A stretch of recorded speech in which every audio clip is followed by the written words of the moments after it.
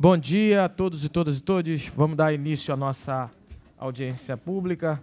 Às 10 horas do dia 25 de abril, havendo número regimental, conforme publicado no edital de 20 de abril de 2023, ou melhor, dia, às 10 horas do dia 25 de abril, declara aberto os trabalhos da primeira audiência pública da Comissão de Combate às Discriminações e Preconceitos de Raça, Cor, Etnia, Religião e Procedência Nacional, com o tema racismo, racismo religioso e aumento, nos equi e, equipa e aumento dos equipamentos.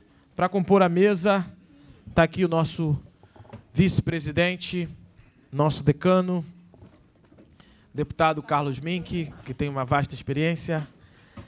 Chamar também aqui para compor a mesa, também nosso segundo decano, experiente, que novo estilo, está com estilo Mink aí agora, está com jalequinho. Nosso deputado Otone de Paula, original, porque o pai vem depois, ele só passou a ser pai quando teve o filho. Então, Otone de Paula, original, está aqui para participar conosco. A deputada, também membro da comissão, a deputada. É, não vou, não vou errar seu nome. Eu vou chamar pelo nome original, que é Amanda Merlau. Mas deputada conhecida carinhosamente por todos nós, Índia Merlau, viu que eu não ia errar seu nome, sei disso. Tanto é que eu sei seu nome original e sei seu nome de, de guerra. Vamos lá. É... Calma, você é ansiosa, você com a... Calma, você tem que ter ansiedade. Vamos devagar, vamos chegar. É, senão a gente se torna intolerante. Está é, tá aqui também a nossa que muito nos honra com seu nobre estilo, né? A Renata tem aqui, eu vou revelar um segredo para todos vocês. A Renata ela usa sempre um vestido monocolor com um, um blaze colorido. Se porventura ela tiver com um vestido ah, Capulano, isso aí, essas coisas não são para mim. Isso aí é, é daqui. Eu venho de São Gonçalo, as coisas lá são muito mais simples. Aprendi lá na é, E sempre usa, no caso de hoje, ela está com um vestido com várias cores e, no caso, um. Como é que é o nome? Capulana? É isso? Não, mas esse daqui é um blaze. É um blaze monocolor azul. São os tecidos africanos. Tá certo. Ela, ela tá... O pessoal vai achar que vocês estão fazendo comentário de moda aqui. Faz parte. Vamos lá, pessoal. É, independente da nossa. E aqui a nossa amiga Renata Souza também é uma guerreira que está aqui para debater com a gente e participar com a gente. É, além da das minhas brincadeiras aqui, que eu acho que é, faz parte do, da suavização do nosso dia, o tema é um tema sério. E mesmo com essa questão, quero também chamar os movimentos que aqui estão presentes para vir compor a mesa conosco. Eu queria convidar a Dolores Lima, que é do Fórum Estadual de Mulheres Negras do Rio de Janeiro.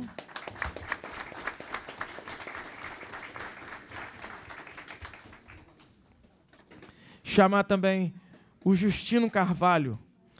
Cadê ele? Justino? Isso.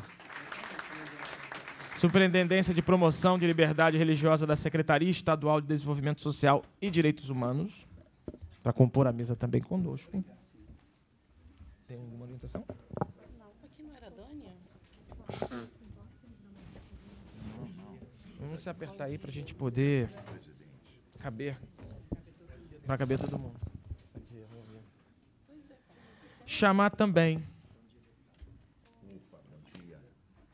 a Maria Carmen de Sá, que é da, que é da Defensoria Pública, assessora da Defensoria. Obrigado, Carmen.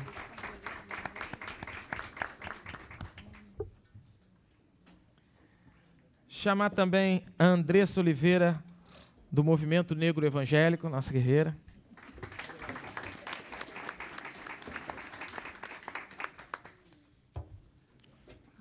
Chamar aqui o Leonardo Iório, que é vice-presidente da Comissão de Combate à Intolerância.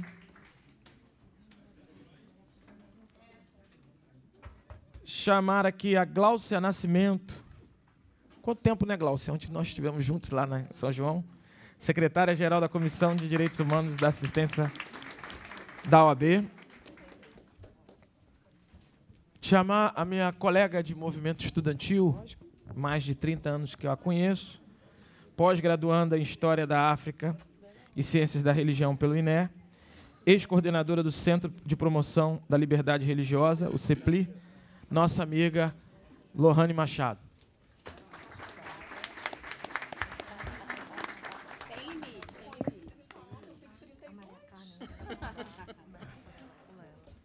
Cadê a Carmen? Ah, Maria Carmen, tá? Aí tu pode chamar logo ela para fazer a saudação, porque a professora que ela vai ter que sair. Ah, tá bom. Tá bom.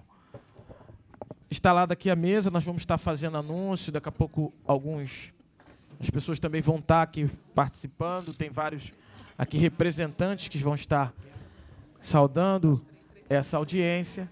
né? É, quero dizer que é um tema de extrema importância, visto que a nossa sociedade tem aí o aumento da, do número da intolerância no Brasil, aumentou em 106% nos últimos dois anos. Né? É, passou de 583 casos em 2021 para 1.200 em, 1.200 em 2022, uma média de três casos por dia. O estado do Rio de Janeiro ficou no segundo lugar entre os casos de intolerância né, e que marcam racismo religioso, é, atrás apenas de São Paulo, né, e logo em seguida tem a Bahia. É preciso que a gente avance. Então, eu vou estar aqui abrindo as nossas falas, vamos anunciar também aqui a presença de várias lideranças ao longo do processo. E vamos dar, dando saudações aqui, começar aqui pela, pela Maria Carmen, né? quebrar aqui um. pedir licença aos deputados e deputadas, porque a Maria Carmen tem um compromisso em nome da defensoria. Tá? Peço que ela vá até o púlpito para fazer a sua fazer a sua a sua explanação.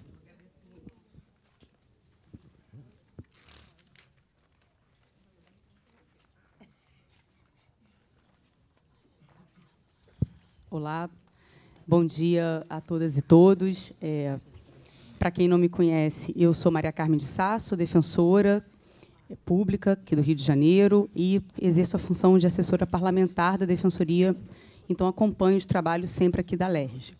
Queria cumprimentar a todos e, todos os presentes na figura do professor Josemar, que fez esse convite para que a Defensoria Pública tivesse presente, e agradecer eh, a delicadeza dele deixar eu fazer minha saudação antes, porque realmente eu vou precisar me ausentar.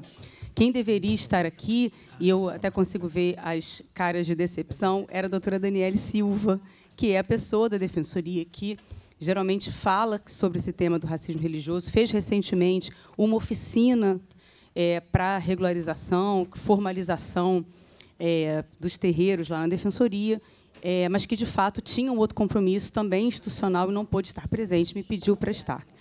E é claro, como a vida está complicada, que são várias reuniões se sucedendo, eu também tenho uma reunião agora, daqui a pouquinho, 11h30, então não vou poder ficar o evento todo. Mas vim aqui hoje é, para colocar, reafirmar o compromisso da Defensoria Pública com a LERJ, que nós sempre temos, estamos presentes sempre, é, em todas as audiências públicas, eventos que a Assembleia chame a gente, e reafirmar o compromisso com a sociedade civil, com os movimentos que estão aqui hoje, que tem na Defensoria sempre a porta aberta é, para acolhimento, para reclamação de quaisquer violações de direitos, para atendimento, para dúvidas. É, muito se fala sobre o Estado laico, que eu acho que às vezes há uma má compreensão de que o Estado laico é aquele que não tem religião ou aquele que, que é, é, completamente neutro. O Estado laico é aquele que não faz opção por nenhuma religião e que, portanto, tem que reunir condições para que todas as religiões consigam ser exercidas plenamente. Né? Afinal de contas, a experiência espiritual é uma experiência individual de cada um e todos são cidadãos do Estado, todos têm o direito de exercer a sua religião da mesma forma. Então, a partir daí, eu acho que as instituições públicas né, e a Defensoria Pública se insere nesse contexto, é uma instituição que sempre vai é, olhar e atender quaisquer violações de quaisquer religiões que se sintam assim e que possam procurar a instituição para esse, esse intento. Vou ficar aqui um pouquinho, quando, é, até onde eu puder, mas é, qualquer encaminhamento que essa audiência pública é, queira fazer, tem os meus contatos, tem o e-mail da, da assessoria, tem meu WhatsApp, enfim, pessoal para que possa fazer o encaminhamento e a gente daí é, é, receber quaisquer é, solicitações, enfim, que sejam destinadas à Defensoria Pública na data de hoje. Agradeço mais uma vez o convite e me coloco à disposição. Obrigada. Obrigado, Dolores. Seguir o procedimento, vou chamar aqui o nosso deputado Carlos Mink para fazer sua, sua fala.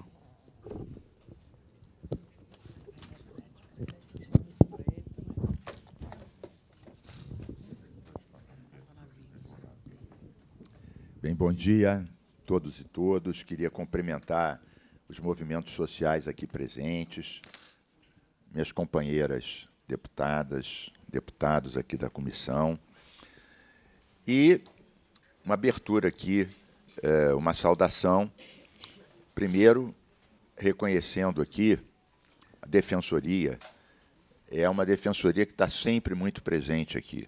Todos os temas que a gente trata, questão do machismo, dos estudantes, dos LGBTs, não há tema que a defensoria não esteja presente, mais do que isso, não assuma uma posição de defesa exatamente dos excluídos, daqueles que é, é, não têm poder econômico e são sempre as maiores vítimas. Queria saudar especialmente o nosso companheiro professor Josemar, presidente da comissão, fui vários anos presidente dessa comissão, fizemos muitas audiências públicas, é, foram propostas leis pela comissão que foram convertidas, projetos que foram convertidos em lei, e combatendo diariamente o racismo, o machismo, né, a intolerância religiosa. Eu me lembro, tá, que a nossa companheira Lohama, que sempre assessorou brilhantemente aqui a comissão, muitos casos de destruição uh, de terreiros, de casa de umbanda, de candomblé, muitas vezes né, reuniões que nós fizemos com delegados, delegados de várias áreas da capital, do interior, de homicídios. Um, era uma. Isso não acabou, mas teve um momento que não havia um dia, professor Josemar, deputada Renata, não havia um dia que não havia uma denúncia desse tipo. Era realmente uma, uma blitz, uma coisa impressionante. Então, ao longo desse tempo, nós conseguimos é, fazer projetos que viraram leis, projetos coletivos da Comissão de Combate ao Racismo e à Intolerância Religiosa. Por exemplo, nós temos a, a Delegacia de Combate à Intolerância e ao Racismo. Só que ela é pequena e está só na capital. Então, nós aprovamos leis para internalizar, interiorizar né, a delegacia. Outra, é, nós fizemos leis, e agora temos que partir é, para o cumpra-se delas, que obrigam, por exemplo, a, a área nossa de inteligência e de segurança pública a fazer relatórios pormenorizados de como é que são essas agressões, quem são os agressores, os agredidos, onde é que elas ocorrem, de que forma ocorrem, para que isso venha subsidiar políticas públicas de prevenção. Políticas públicas de prevenção. Quer dizer, não basta ter uma leitura só quantos foram. Tem que saber como foram. Quem são os agressores habituais, seja do racismo, seja da intolerância, eh, seja da LGBTfobia. Então, isso sim é um trabalho que pode alimentar uma política de prevenção. Outras coisas importantes, nós temos que trabalhar. Ninguém nasce racista, ninguém nasce intolerante, ninguém nasce machista. As pessoas, infelizmente, aprendem a ser racistas e intolerantes. Então, a questão, deputada Índia, a questão da prevenção nas escolas é muito importante. Nós, por exemplo, fizemos uma lei e estamos no cumpra-se, alguns poucos casos estão sendo cumpridos, que é Maria da Penha nas escolas. O que, que é isso? Combater o machismo desde os bancos escolares. Nós temos uma outra lei que também passou pela comissão, a Lohama participou bastante disso, a, a, a Eliane do nosso gabinete se empenhou, que é uma lei que pega a lei nacional do ensino das culturas indígenas e africanas nas escolas. Então, tem essa lei de 20 anos, que infelizmente não é cumprida. Então, nós fizemos uma lei, professor Josemar, dizendo o seguinte: não, tem que fazer dessa forma, ouvindo o Conselho Estadual de Educação, com tais questões no currículo, aqui, ali e acolá. Por quê? Muita gente acha que África é uma coisa só. Na verdade, tem N culturas, N religiões, N tradições. Tem muita gente que acha que os indígenas são uma coisa só. Não são. Cada povo indígena tem a sua particularidade, né? a sua história, a sua tradição, a sua religião também. Então, quanto mais você conhece, você começa a se vacinar contra o preconceito. Então, nós temos que fazer esse cumpra-se da lei que há, inclusive, o município do Rio, é bom que se diga, até o secretário municipal de educação, vou concluir, é o, o, o Ferreirinha, que foi até há pouco tempo deputado conosco aqui na casa, ele na, na Secretaria Municipal de Educação, está cumprindo a lei do ensino das culturas afro-indígenas nas escolas. Isso por si só resolve tudo? Não. Mas ajuda. Ajuda. Então, eu concluo aqui agradecendo, como sempre, a presença de todos. Vejo uma participação grande dos deputados. Parabéns aí o nosso presidente, que fez uma convocação bem incisiva que nós todos obedecemos e tenho certeza que nós vamos dar continuidade ao que vinha sendo feito e acrescentar sempre outras dimensões, porque a realidade é assim. A gente tem que resgatar o que foi feito no passado e acrescentando novas demandas no combate ao racismo, à intolerância, ao racismo religioso e criando mecanismos, não só punitivos, mas, sobretudo, preventivos. É uma guerra cultural. A gente tem que combater a cultura do ódio, combater a cultura do estupro, combater a cultura do extermínio dos povos indígenas. Isso se faz com educação, com cultura. Daí a importância dessa comissão, professor Josemar, presidente, ter uma conexão muito grande com as comissões de educação, com as comissões de cultura, com a comissão de mulher, aqui fortemente representada pela nossa guerreira é, Renata Souza, porque na verdade não é um trabalho estanque. Esse tema ele é transversal e assim tem que ser tratado. Obrigado a todos, parabéns. Vamos em frente na luta por uma sociedade mais fraterna, mais solidária, menos intransigente, menos violenta.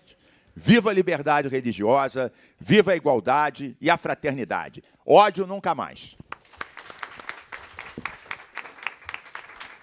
Passar a palavra agora para o nosso deputado Otônio de Paula Pai.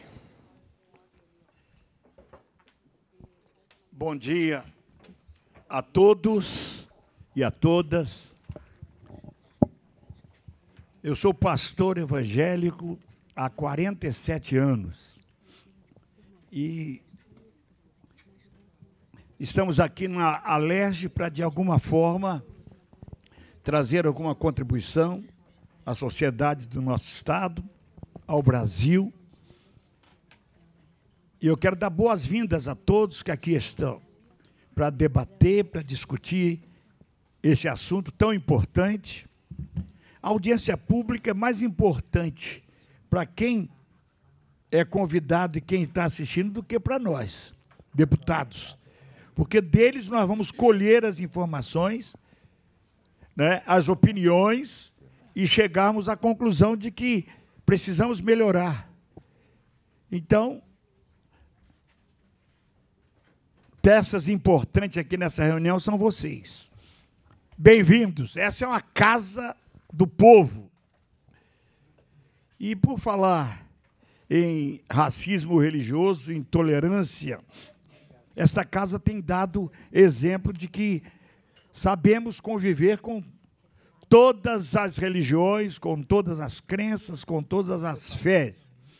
Nesse auditório se reúnem aqui evangélicos fazendo seus cultos, é, outras cerimônias religiosas de outras religiões. Isso demonstra que o parlamento estadual está de portas abertas para discutir esses assuntos tão importantes que vai trazer, vai elucidar, vai trazer esclarecimento de um modo geral e promover leis que de alguma forma possa coibir não é, abusos, seja qualquer segmento da sociedade, mas como que nós estamos discutindo, religioso. Parabéns, professor Josemar, Carlos Ming, meu companheiro, decano, um grande experiente nessa casa, Índia Armelau, Renata Souza, tem outro deputado? Não. não é? Então, dando boas-vindas a vocês. E a audiência pública, como eu disse, é para isso: discutir, debater, buscar solu soluções e estabelecer políticas públicas, principalmente nessa área. Eu, com é, esse histórico de pastor evangélico, graças a Deus, na minha formação, tive ensinamentos que, principalmente da parte daquele que eu creio, nosso mestre Jesus Cristo, ele nunca discriminou, não é? Em, em todos os sentidos, e não seria eu né, que seria educado pelos meus pais, por aquilo que creio, entendo que é certo, ser discriminar e ser um defensor da discriminação. Então, da discriminação. Estamos aí para discutir o assunto. Bem-vindo a todos. Parabéns à, à comissão que está promovendo o evento. Obrigado, deputado. Passar a fala para a deputada Índia Merlau. Boa tarde para todos. Oi. Boa tarde para todos aqui presentes.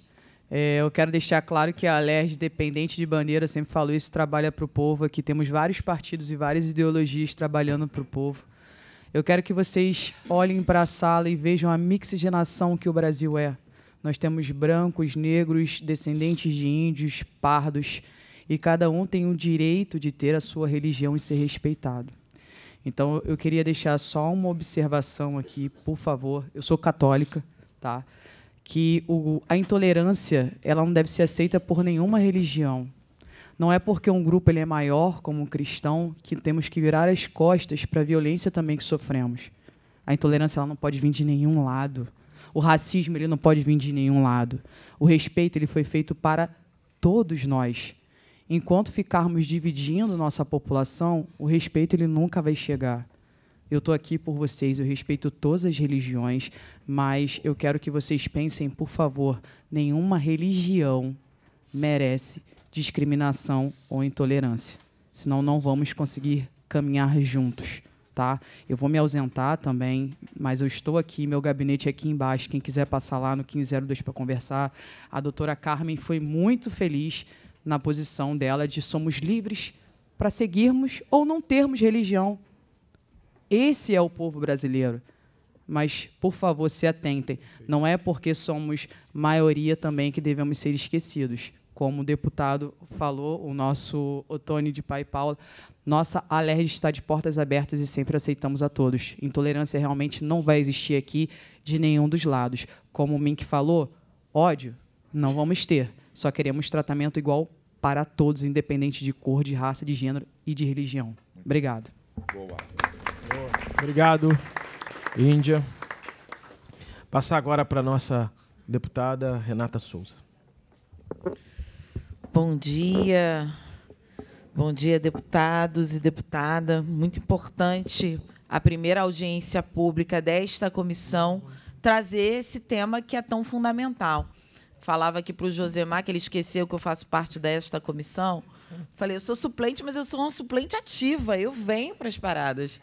Mas é evidente que a gente sabe da importância das comissões, das audiências públicas, é o momento mais feliz que a Alerj tem, porque é quando a Alerj se abre a ouvir a população e trazer aquelas insatisfações diante de leis que é, não são cumpridas, mas também diante da possibilidade de fazermos outras leis que garantam aí a superação dessa lógica do racismo religioso e da intolerância religiosa.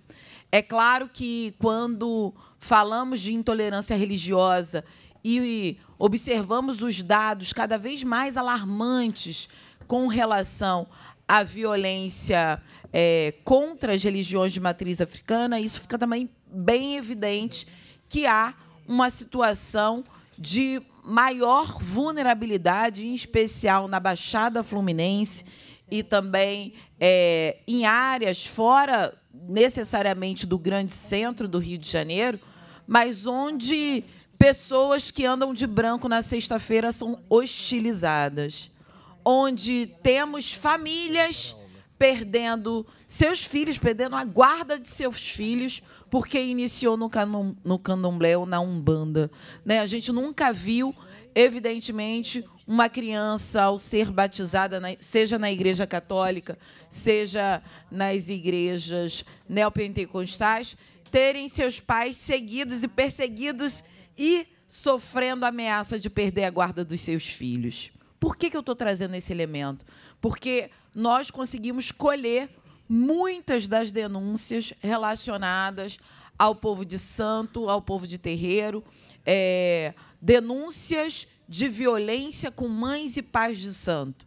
Né? Carlos Limin, que lembrava aqui da reunião com a Polícia Civil que fizemos aqui na Assembleia Legislativa, justamente porque essa intolerância, esse racismo é, religioso se abateu de maneira muito concreta com relação àqueles e aquelas que professam a sua fé nas religiões de matriz africana.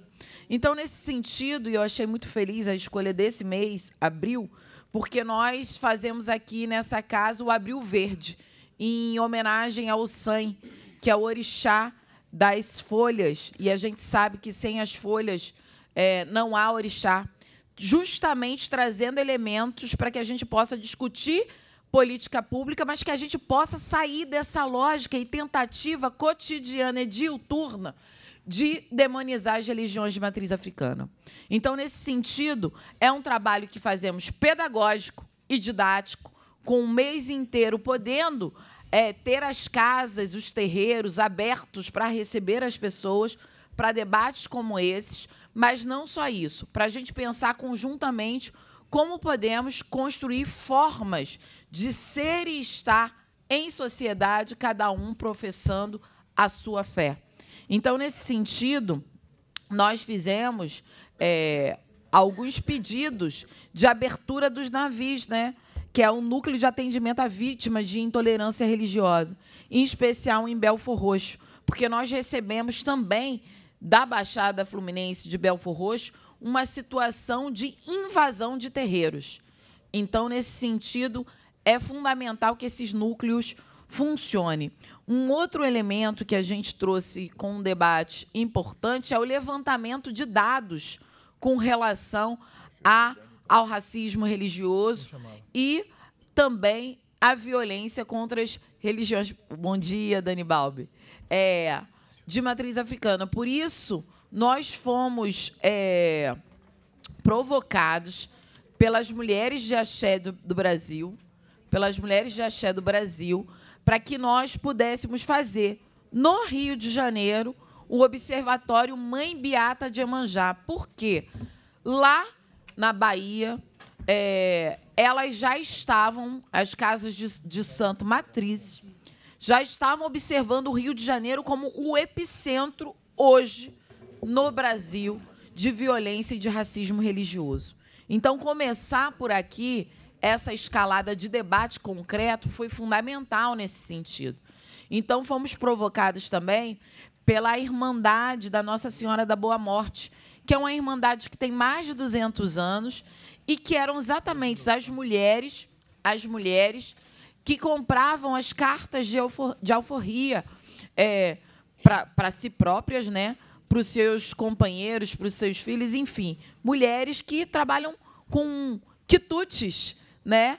Então essa irmandade também nos provocou a fazer o debate com relação à pobreza menstrual.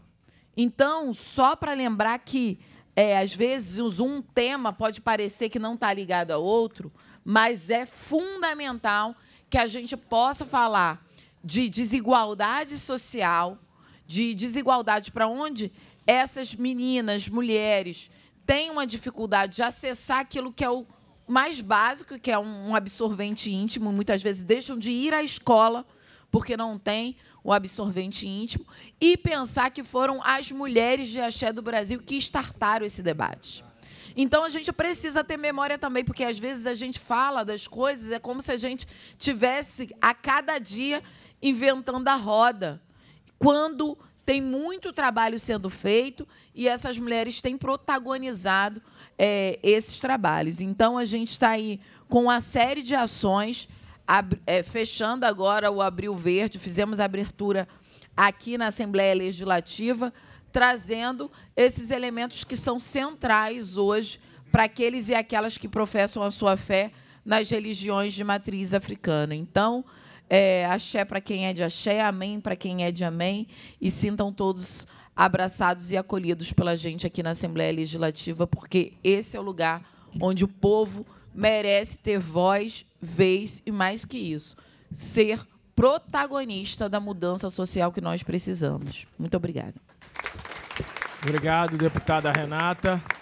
Uma honra estar aqui contigo. Chegou agora duas nobres guerreiras, duas nobres deputadas, a deputada Dani Balbi e a deputada Dani Monteiro. Chegaram aqui as Danis.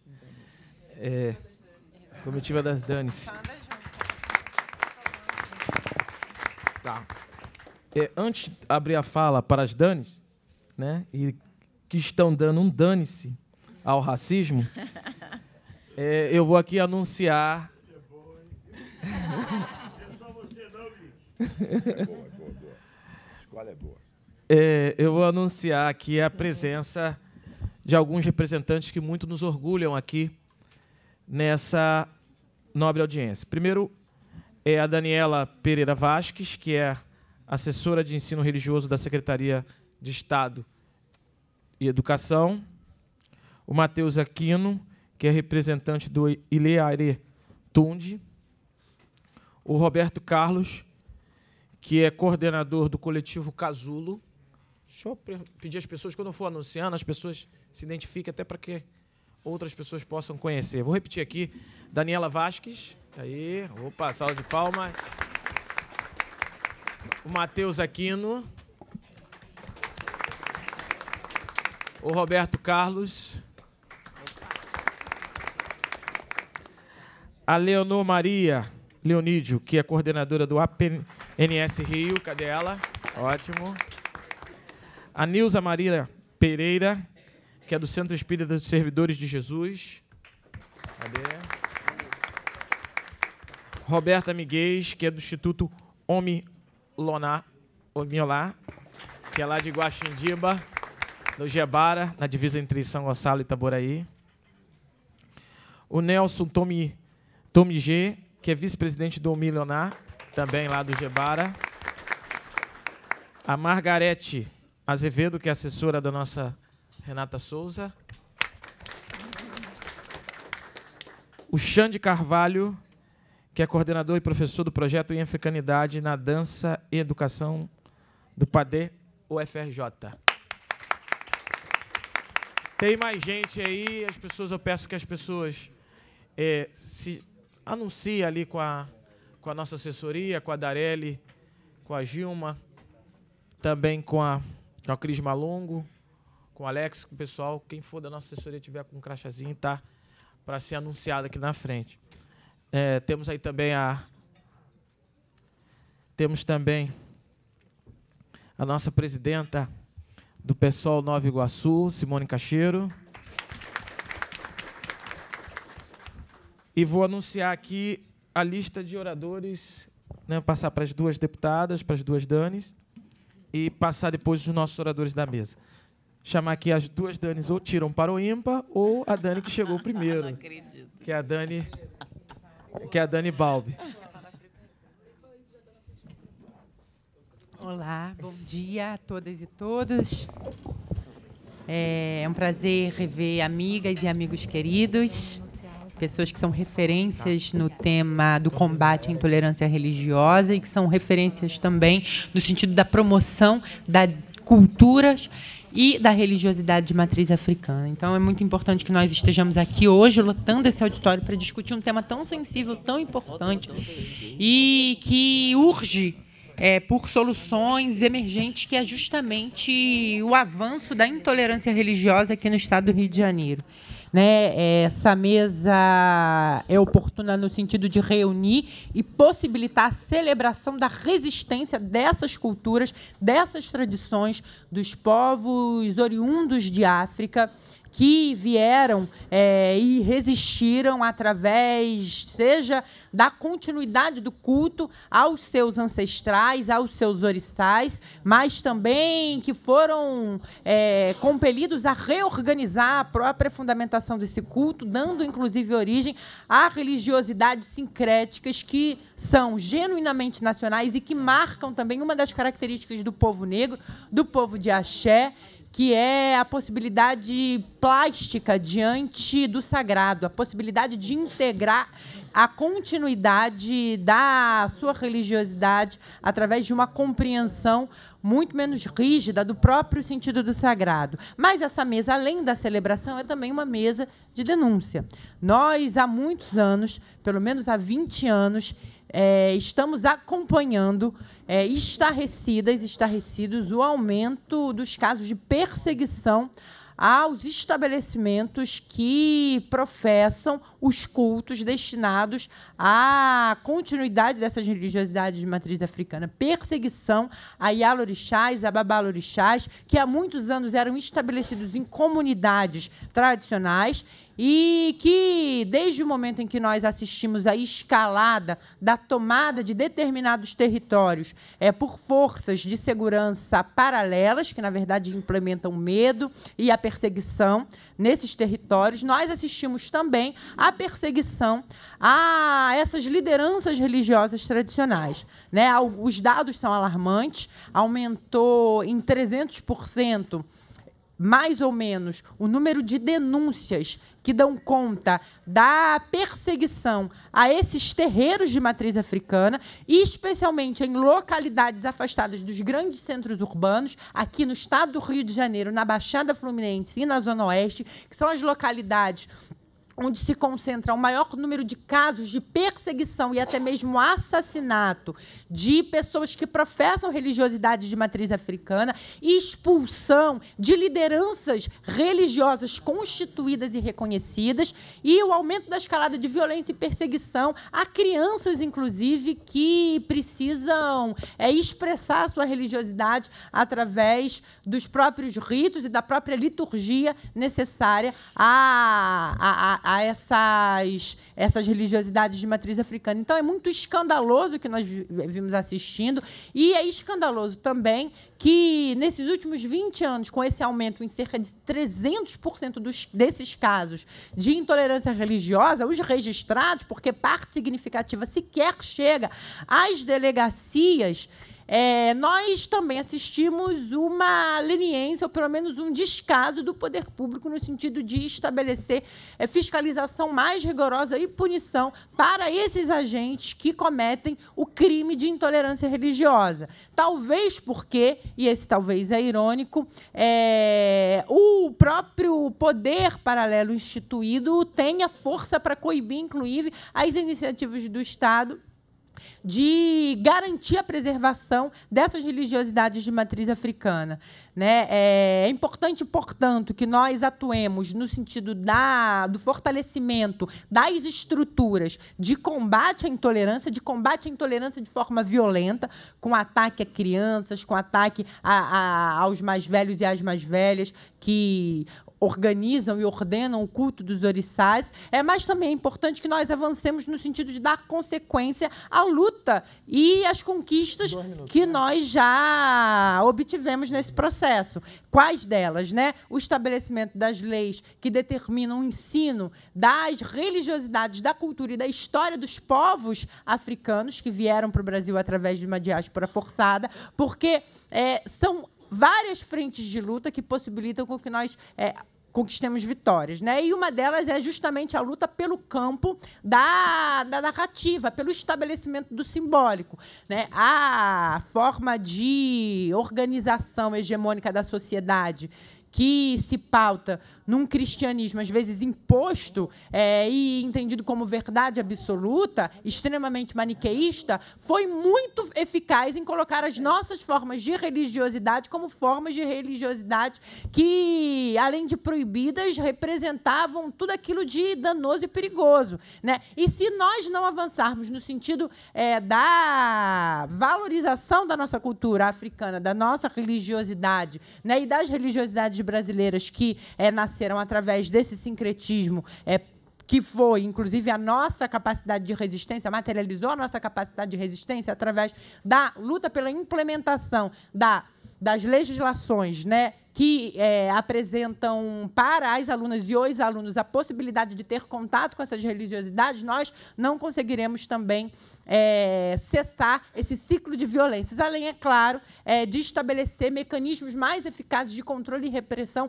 a qualquer forma de intolerância religiosa. É por isso, para concluir, que nós apresentamos, protocolamos, na verdade, aqui uma proposição de lei que cria o Centro de Referência e Cidadania dos Povos Tradicionais de Matrizes Africanas, que na realidade, é, estabelece uma ampla estrutura de apoio e acolhimento dessas lideranças religiosas e desses povos de terreiro diretamente ligados às religiosidades e à cultura de matriz africana no âmbito do Estado do Rio de Janeiro, além de endurecer é, a, a punição a todas que e a, to, a, toda forma de perseguição a pessoas que professam esse culto, mas também promovendo esse centro, promovendo a difusão dessa cultura tão importante para o próprio estabelecimento e a colunação do sentido do Brasil e aqui do Estado do Rio de Janeiro.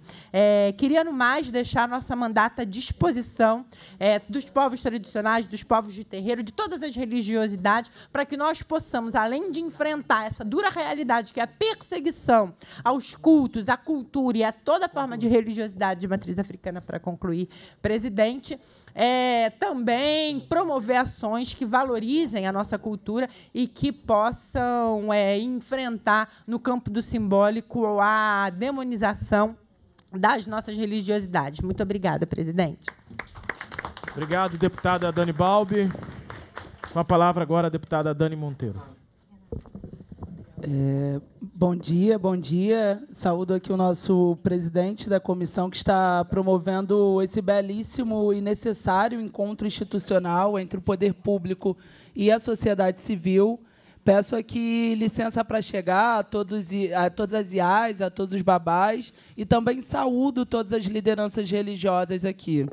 É, acredito que esse espaço ele é fundamental porque falar sobre o racismo religioso é falar sobre uma necessária reparação histórica aqui no nosso país. 12 de maio vem vindo aí e é um momento de inflexão para nós, o quanto que a libertação aqui no Brasil não promoveu reparação e quanto três séculos de colonização nos retiraram a nossa própria identidade, a nossa própria ancestralidade. Então é óbvio que falamos aqui de violências acontecidas no hoje, mas é preciso contextualizar essas violências numa formatação histórica. É preciso entender que o esvaziamento daqueles africanos que vieram para ser escravizados era parte da colonização desses corpos, que até hoje a precarização que nós sofremos é oriunda da separação do espiritual e do material. Aqui ninguém está falando para convertido, ninguém está tentando, né? Converter ninguém, mas falamos sim de uma materialidade esgotável e que na essência do ser humano, ao buscar a resposta do da onde veio, quem sou eu e para onde se vai, é sim a espiritualidade que traz o arcabouço totalizante. Então pensar que sociedades históricas e milenares cresceram, desenvolveram ciência, matemática, astrofísica, metalúrgica a partir sim do entendimento espiritual, ou seja, que Ogum, o nosso orixá dos metais, foi fundamental para a indústria metalúrgica, entender que só se desenvolveu a agricultura com a fertilidade de Oxum é entender a materialidade no hoje, né? o que se materializa a partir da nossa espiritualidade, é fazer dar chão, dar corpo, dar vida a energias. Então, falar aqui do racismo é entender o quanto que muitas vezes a retirada da nossa espiritualidade, seja no ontem ou no hoje, é utilizada sim para nos esvaziar. Porque, sabe, vejo aqui o deputado Otoni que é né, uma referência de uma religião que hoje abarca a nossa população preta e periférica. E é muito bonito para quem mora em favela, um trabalhador que chega cansado, esgotado, depois de passar duas horas no transporte público, né, pastor Cosme? Chega lá e olha assim, e, e, passa em frente a uma portinha que tem uma mesinha pequenininha com bolo, e tem lá um fiel, coloca a mão no ombro e fala: Jesus te ama. A vida não ama essa pessoa, mas Jesus ama ela. Isso é muito importante. Isso dá uma materialidade para a vida dessas pessoas, que é fundamental a gente também refletir, mas que a, a, esse amor né, em Cristo, professado por muitos religiosos, e eu me referencio muito no pastor Henrique, que atualmente é deputado federal e faz esse debate também, o quanto que isso não pode ser utilizado para justificar a barbárie, a violação, a próprio adoecimento de vida, sabe? Jesus nos ama, mas o SUS público deve chegar para todos. Jesus nos ama, mas é necessário que a gente tenha educação pública para as nossas crianças. Para que valorizemos as nossas famílias, é preciso ter assistência social. Não é possível reduzir a maioridade penal. É preciso ter programas de transferência de renda. É preciso ter moradia popular. Seja Jesus ou os orixás, falamos do direito à terra e território quando professamos a nossa espiritualidade. Então, aqui, é, professor Josemar, para ir concluindo que certamente o tempo se vai, é, Queria dizer que a nossa Comissão de Direitos Humanos, que presido aqui na LARD, está à disposição para tocar parcerias, né? também deputado Carlos Mink, como historicamente tocamos no âmbito do acolhimento e do atendimento a esses que foram violados, mas é preciso avançar em políticas já construídas aqui. Então, a história a luta que, por exemplo, foi feita aqui pelo deputado Carlos Mink sobre a criação da DECRAD, é preciso ampliação desses mecanismos de é, combate né, ao racismo e de denúncia. É preciso também entender os nossos templos religiosos como espaço de cultura, espaço de assistência social, espaço de acolhimento e de comunhão. Então é preciso ampliar também estruturas de acolhimento no nosso estado. E esse acolhimento muitas vezes não será feito no mesmo lugar da denúncia. Então entender que estruturas é essas que precisamos construir. E é isso, saudar, novamente agradecer aqui o espaço, dizer que chegou chegando e é necessário cada vez mais São Gonçalo município importante de ocupar esse espaço, é terra de nascimento também de espiritualidade, é terra do nosso, dos nossos e vamos juntos. Axé para todos, axé para resistir. Obrigado à deputada Dani pelo carinho e também pela importante fala. Nós vamos ter aqui a mesa, né, os representantes da mesa agora, mas eu queria antes anunciar a presença do Rafael Esteves, que é assessor do deputado Yuri e representante do GT Povo de Santo de Petrópolis. Cadê o Rafael Esteves? Já, se identificou. Ótimo. Patrick Melo, que é da iniciativa Direito à Memória e Justiça Racial. Cadê o Patrick?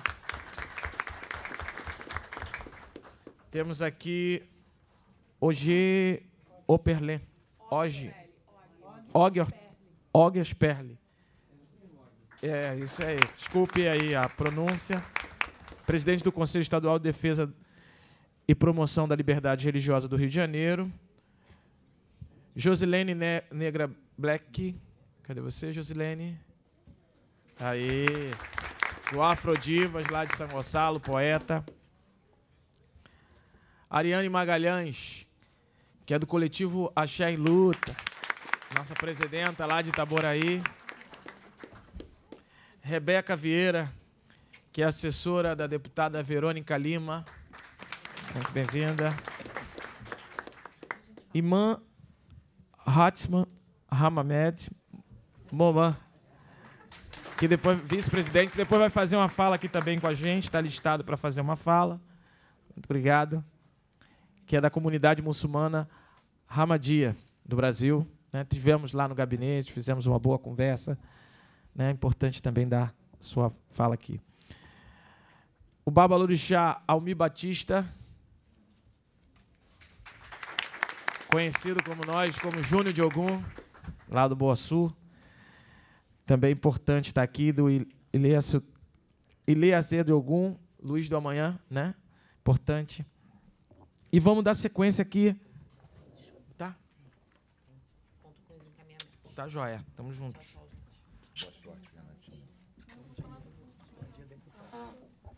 Vamos dar sequência aqui à nossa, à nossa mesa.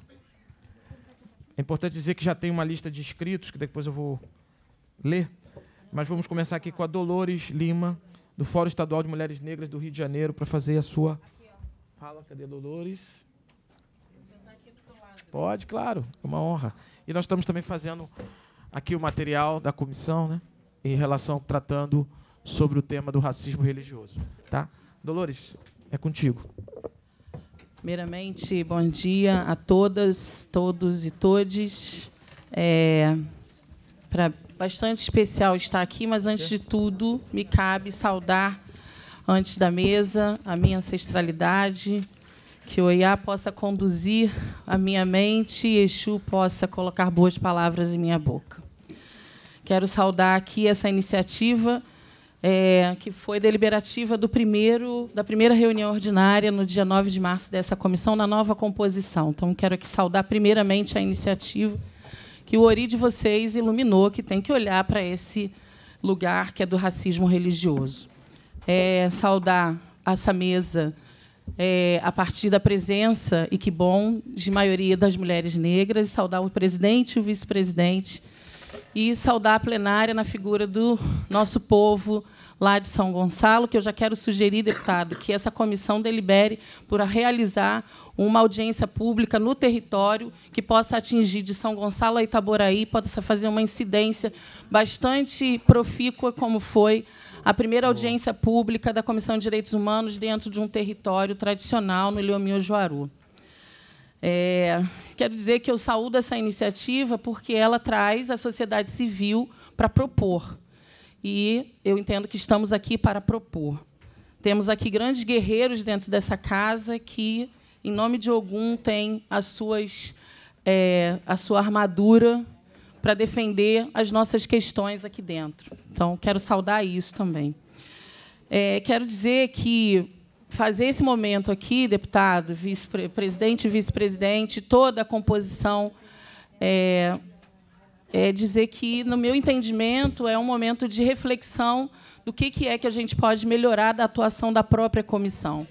Eu venho acompanhando bem de perto, por conta dessas questões, duas comissões em especial, que é a de combate à discriminação e direitos humanos.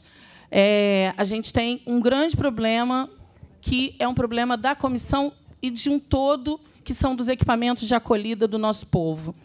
É, converso com essa comissão desde muito tempo. E a gente precisa pensar numa alternativa para isso. Essas duas comissões precisam nos ajudar a pensar nos equipamentos que acolhem. A gente quer trabalhar na prevenção, a gente quer trabalhar na prevenção, mas isso não é igual uma vacina que a gente dá. Essas coisas estão acontecendo e, deste momento em diante, desde a última grande é, notícia em jornal, eles estão acontecendo de forma silenciosa. Esse caso que a deputada Renata Souza é, se dirigiu aqui, nem nós podemos efetivamente externar qual é a localidade exatamente, porque está tudo acontecendo silenciosamente. Nem as notícias mais são é, trazidas à tona. É, falando na questão das notícias, eu queria também propor que a gente pudesse atentar de que forma essa casa configura a sua própria comunicação. E aí eu fui pesquisar para buscar como é que a comunicação da LERJ fala sobre as próprias deliberações. encontrei uma é, reportagem dentro da é, página da LERJ que diz que as oferendas de Emanjá é, podem ser tombadas como patrimônio material. Ora, bolas, não é oferenda a Iemanjá.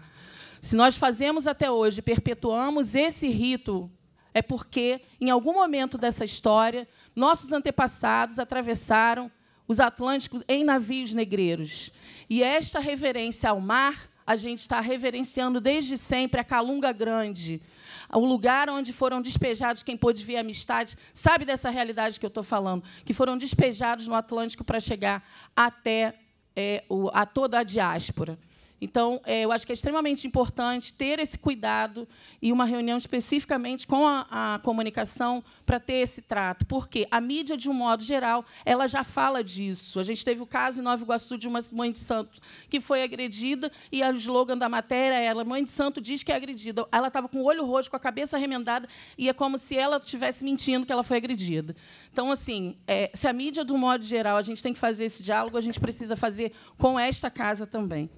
É, eu sei que você estava pedindo tempo para todo mundo, eu costumo ser disciplinada, mas eu queria abordar algumas coisas é, em relação ao racismo sistêmico, e aí eu quero falar da ausência de dados. O Alô Alert, todo mundo sabe que não é só esse canal que recebe esse tipo de denúncia. Então, o grande desafio é reunir todos os dados do tamanho real do que é a demanda do racismo religioso. Porque o Estado está muito confortável, porque ele não sabe o tamanho real e vai criando paliativos que, na verdade, não adiantam. O conjunto de ações precisam ser empregadas na direção do combate ao racismo religioso, na educação, na segurança pública, na cultura, enfim, os diversos lugares. Então, eu quero já propor a essa comissão trançar um plano de trabalho, conjuntamente com outras comissões que eu já citei, igualmente importantes, que é de direitos humanos, para conseguir pautar é, o, o governante desse Estado na direção de um conjunto de coisas. Saiu uma deliberação da CPI nessa casa e uma delas que foi cumprida foi a elaboração de uma cartilha de combate ao racismo religioso na escola.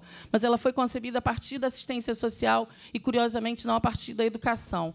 Ok, mas isso precisa ser dinamizado do ponto de vista pedagógico. Como é que ela está entrando nas escolas? Como é que ela está fazendo o debate? Como é que ela está fazendo a incidência pedagógica dentro das unidades escolares? Uma legislação específica que, se eu não me engano, foi o deputado Valdeir Carneiro que, que coloca em relação a isso, faz com que os, em determinado lugar da escola tenha lá todos os canais de é, denúncia é, sobre racismo religioso. Isso está sendo colocado nas escolas? Não sei.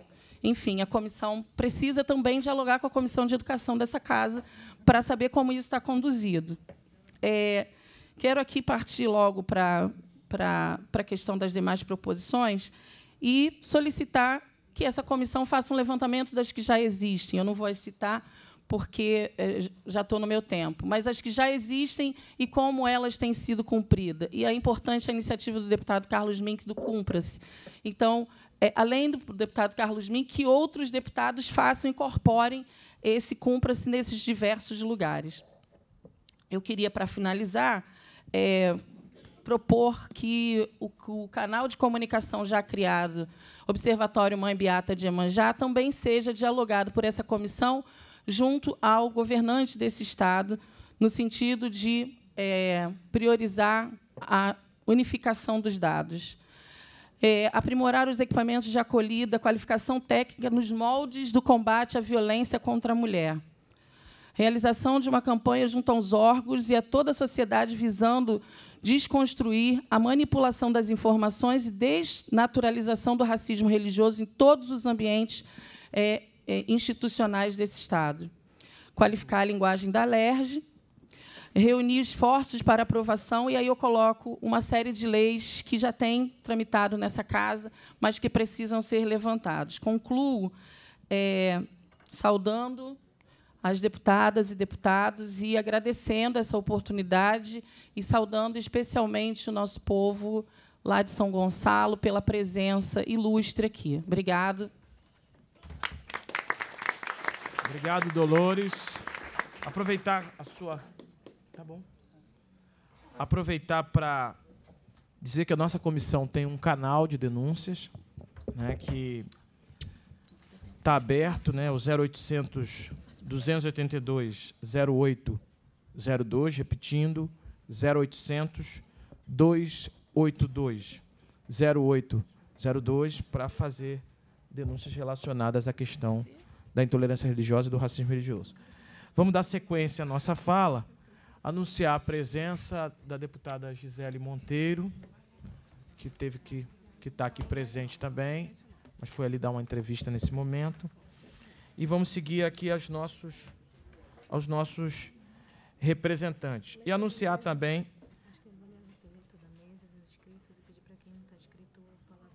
Ah, tá. É, além das pessoas que estão aqui na mesa, o Justino, que é o próximo, a Maria Carmen, que já falou, o Arnon, a Andressa, a Gláucia, a Lohana, a Josilene Negra, Negra, Negra Black. É, temos também inscritos né, para fazer fala no púlpito. O imã Hamed Moham, que é da Associação Amedia Islã, o Babalorixá Roberto Carlos, o Felipe Barbosa Carvalho, a Jaqueline Oliveira da Conceição, o Patrick Melo, Eudaci Reis, o Marcelo Dias, que está aí, o Marcelo Dias, está tá, tá, tá aqui fora, nosso do MNU, nosso ex-deputado, o Leonardo Vieira, e quem quiser se inscrever, se inscreva com a nossa Olgani, que está aqui, né? Vai. Tá... Ah, tem mais esses aqui? Ah, depois você me entrega aqui, tá? Se inscreve aqui com a Algani, quem quiser fazer o uso da fala vai fazer em três minutos, tá? É, vamos dar a sequência. O próximo é o nosso é o Justino, que é o superintendente da promoção de liberdade religiosa da Secretaria Estadual de Desenvolvimento Social e, de, e Direitos Humanos. Justino? Pois não. É contigo. Bom dia, bom dia. Cumprimento aí e agradeço o convite do nosso deputado professor Josemar, os deputados, as deputadas, é, as autoridades religiosas aqui presentes, o, o, presidente do Conselho Estadual de Promoção da Liberdade Religiosa, Og Sperling, a professora Daniela, da Secretaria de Estado de Educação. É. Agradeço a oportunidade. Eu gostaria de apresentar para vocês a, a questão da superintendência que ela vem suceder a CEPLIR, né, que é a nossa, muito bem representada pela nossa querida e ativista aí, muito, e muito próxima do tema. Da CEPLIR, desenvolveu-se para suplir que é uma superintendência que existe dentro da Subsecretaria de Direitos Humanos, na atual, na atual estrutura do Estado. Existe a Secretaria de Estado de Ação Social e Desenvolv de Desenvolvimento Social e Direitos Humanos e uma subsecretaria de Direitos Humanos dividida em superintendências temáticas. Então, lá nós temos a Superintendência de Promoção da Liberdade Religiosa, que é a Suplir, a antiga Ceplir. Nós temos a Superintendência de Igualdade Racial, nós temos a Superintendência LGBTI+, nós temos a Superintendência do Idoso, nós temos a Superintendência da Pessoa com Deficiência e temos lá também os conselhos estaduais, que são paritários. Tem representantes do Estado, através das secretarias, tem representantes da sociedade civil, que participam de um processo eleitoral, né, de, de, de escolha, exatamente, meu, meu querido deputado Otônio Paula Pai. E temos também, no caso do nosso conselho, que é o Conselho Estadual de Promoção da Liberdade Religiosa, nós temos, além disso, 21 religiões ali presentes através de suas autoridades religiosas. Ou seja, você tem o Estado, você tem sociedade civil e você tem religiões no mesmo fórum, recebendo, recebendo é, denúncias, situações de intolerância, promovendo também o diálogo interreligioso, que é o papel mais importante, e, além disso, também políticas públicas dentro da estrutura limitada que hoje temos. O presidente para o biênio 22-24 é, é, o nosso querido Og Speck, que é um sacerdote da religião Wicca, e eu estou como vice-presidente, como representante do Estado. No ano que vem, invertem as posições. Dentro da Superintendência de Promoção da Liberdade Religiosa, nós temos o NAVIR, que são os núcleos de atendimento às vítimas de intolerância, bem citados aqui pela deputada e, e pelo deputado Mink. Esses núcleos, eles ficam localizados geograficamente em algumas cidades e fazem um atendimento interdisciplinar daquela vítima de intolerância, além de promover também a aproximação através do diálogo interreligioso e das políticas públicas do Estado, sempre em parceria com o município. Esses núcleos eles são instalados em total parceria com o município, com a localidade que muito dá estrutura para a permanência desse núcleo lá, que basicamente tem um advogado à disposição para orientação jurídica, um psicólogo, um assistente social e também um administrativo. Além disso, a porta de entrada das denúncias que nos chegam, porque existem vários canais, normalmente é pelo Disque 100 do Ministério dos Direitos Humanos, pela presença física do usuário numa dessas unidades do navio ou na própria superintendência, também através da DECRAD. A DECRAD é a Delegacia Especializada de Crimes de Intolerância, inclusive religiosos, que fica na Rua do Lavradio. Ali, todos os casos de tolerância onde há suspeita de crime, eles são encaminhados para que possam ser abertos os inquéritos, o registro de ocorrência e que haja investigação e, se necessário, do, no, no final, a apresentação da denúncia pelo Ministério Público e segue o seu caminho no Poder Judiciário. Então, em um resumo muito rápido, essa é a estrutura hoje que nós temos é, mais de, dentro dessa cadeia de custódia, porque existem diversos outros segmentos na sociedade, sendo do, do poder público ou mesmo é, é da sociedade civil e das instituições, que tratam desse tema. Como, por exemplo, nós temos a Comissão de Combate da Intolerância Religiosa da seccional da OAB-RJ. Nós temos também um conselho, uma coordenação de intolerância religiosa no município do Rio de Janeiro. Então, existe uma cadeia de custódia que precisa estar mais alinhada e trabalhando em conjunto para que nós possamos estar é, otimizando e aproveitando esses diversos agentes já existentes, cujo objetivo é um só. Mas o mais importante é manter sempre essa, esse diálogo e esse tema aos olhos das autoridades religiosas. Essa é a grande forma de prevenção quando as religiões têm esse diálogo, essa interface, e isso se dá muito forte dentro de um conselho estadual, que poderia ser replicado nos 92 municípios do nosso estado para facilitar e acompanhar a política pública. Com relação à, à cartilha da educação é, que foi lançada na rede estadual de ensino, agora no 7 de dezembro, a ação social participou da feitura da, da cartilha, mas a, a, o, o, autor da cartilha é a Secretaria de Estado de Educação, que nos consultou em conjunto. Ela foi feita para ser aplicada em toda a rede de ensino do Estado, num programa que vai acontecer agora no decorrer desse ano. E finalizo porque o tempo se foi, presidente. Ele já, é. já, já te sinalizou. E agradeço Não, a oportunidade. Fechou? Obrigado. Dentro do tempo. Vamos dar aqui sequência às nossas falas. É, temos aqui o Roberto Gomes, que é do Quilombo da Gamboa. Temos também a Andréia. Onde está o Roberto? Está aqui. Ótimo. A Andréia Lima, que está representando é da coordenação da diversidade religiosa, assistente social, cadê a Andréia? Ana Luísa Bal Balociano, está aqui a Associação Religiosa Israelita. Andréia Soares Pinto, que é do Ginga UF. Cadê a Andréia? Abraão Santos, que é do Lumi Jacaré João, Sara. Leonardo Vieira, que é Ginga UF.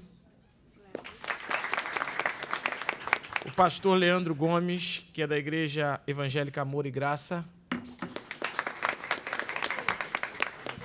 Cadê? Cadê o. Ah, já deve ver. É porque o pai Milton ali levantou na hora, a gente achou que era o pai Milton. E anuncie também o pai Milton aqui pra gente. O pastor Cosme Felipe Sen, que é da Assembleia de Deus e do Movimento Negro Evangélico. A Fernanda Maria Colcedem. Cadê? Fernanda Maria. Diálogos do Cárcere da UERJ. Pai Marcelo de Xangô, que é presidente estadual do Instituto Carta Magna, da Umbanda. Liliane Graciano. Aí, cadê Liliane? Não tá aí, não? Deve ter. Lá fora, depois a gente anuncia de novo. Que é da OAB, da, da Comissão de Igualdade, de Equidade e Luta contra a Tolerância, pela Tolerância Religiosa nosso amigo Leonardo Matos, da Coordenadoria da Igualdade Racial da Prefeitura do Rio de Janeiro. Muitos orgulho estar aqui. Fabiana Pinel, filha de santo, Liacé, Oxum, Omi, Omi Parê, Odê. O Pará de Odê. Daí. Nadir Mariano Vasconcelos, coordenadora do Fórum de Mulheres Negras de São Gonçalo. Nadir. Grande Nadir. Está aqui também nosso amigo professor de antropologia da UF, professor Rolf Malungo. Falei certo agora. Vanderlei Luzia, que é presidente do Centro Espírita de Servidores de Jesus. Tá ali. Show. Vamos dar sequência às nossas falas, a gente vai acelerando. Tem muitos inscritos. Então a gente vai estar encerrando as inscrições, pedir para sermos mais rigorosos aí os, ao tempo, né? Que é fundamental para que a gente todos possam falar, que a gente todos possam dar essa sequência. É, eu vou pedir a dar uma quebrada aqui na mesa e pedir para para Tânia Jandira, que é da Comissão de Combate do CECIR, para fazer a sua fala aqui. E depois eu retorno para que a mesa possa fazer essa sequência com a Andressa Oliveira. Tá?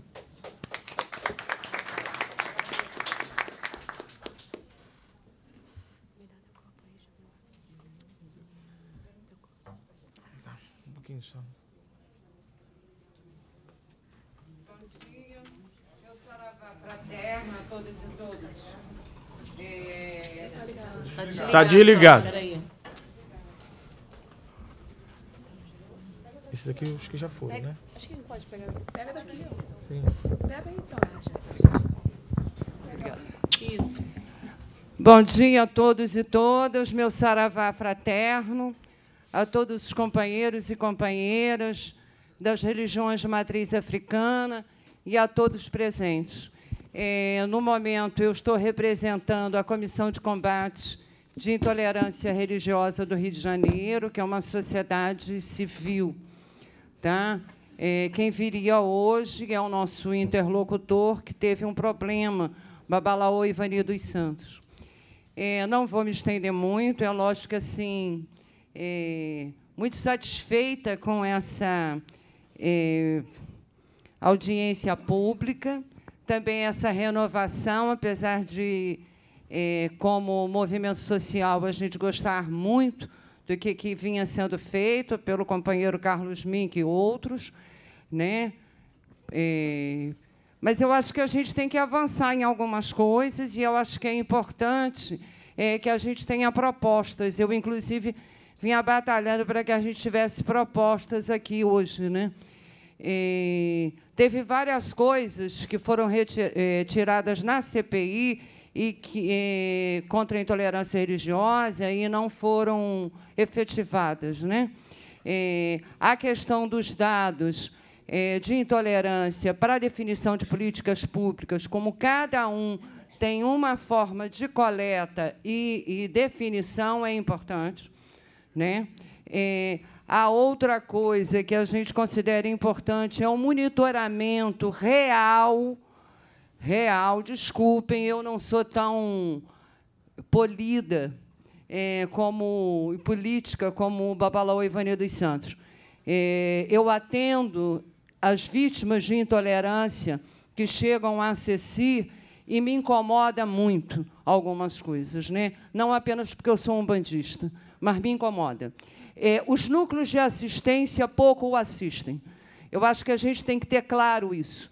E tem que ser definidos os locais de assistência é, a partir do número de casos.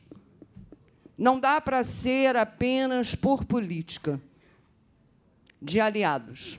Né? Para vocês terem uma ideia, eu vou citar uma coisa muito rápida. É, conversando com uma vítima de intolerância do tráfico, do narcotráfico de Nova Iguaçu, é, ela está indo à audiência, porque ela foi à polícia e estava sendo assistida pelo navio, é, sem advogado. E ela está no alvo, porque ela, as testemunhas dela, tem acesso, é, todo um, o advogado do, do traficante tem acesso a ela. Então, é, é, são coisas sérias que a gente vive. Eu queria que vocês conseguissem monitorar também é, os casos assistidos pela DECRAD. Nós temos pelo menos dois casos, Itaboraí com o pastor é, Felipe Valadão, que até hoje não tem resposta. Um ano. Um ano sem Itaboraí.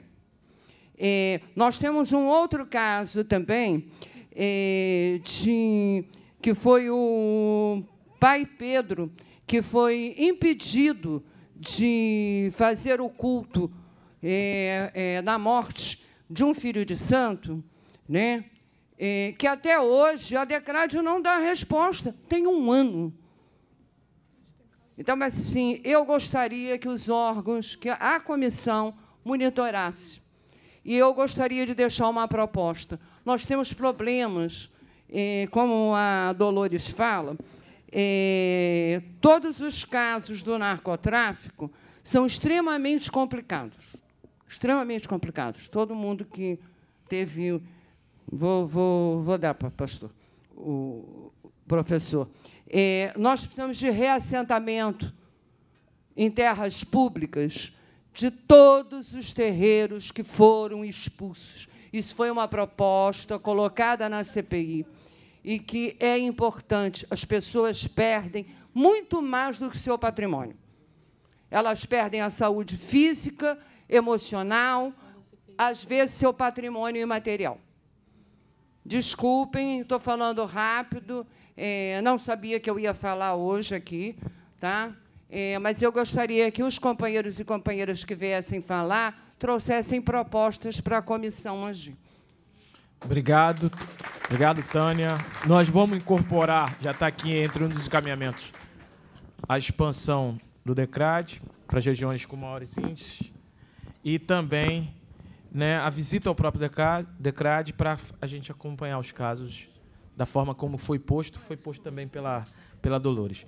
Eu quero aproveitar a oportunidade para intimar para a mesa aquele que fala a palavra intimar com um certo tom carinhoso, aquele que foi fez a resolução para que essa comissão que hoje aqui eu presido viesse a existir ainda nos anos 90, chamar o deputado, ex-deputado Marcelo Dias para compor a mesa conosco, um importante guerreiro do MNU,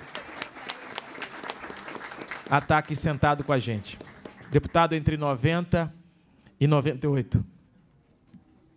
Ele ainda estava na era Mink, né? Tá certo. Era o que, ele falou? É uma brincadeira que eu tenho com o deputado Mink aqui, que aqui existe a, a LERJ se divide em duas fases, né? A era antes do Mink e a era pós-Mink, né? E antes da era Mink tem a era tem a era ali do, do que o Estado do Rio de Janeiro não tinha ainda. Então tem aqueles deputados que foram deputados antes do Estado existir, né? Isso o Mink ainda não chegou ali. Seria um período pré-histórico, né, Mink? Mas é uma brincadeira minha com ele, Jurássico. Mas é muito respeito e muito carinho que eu tenho por ele, que é minha referência há muitos anos.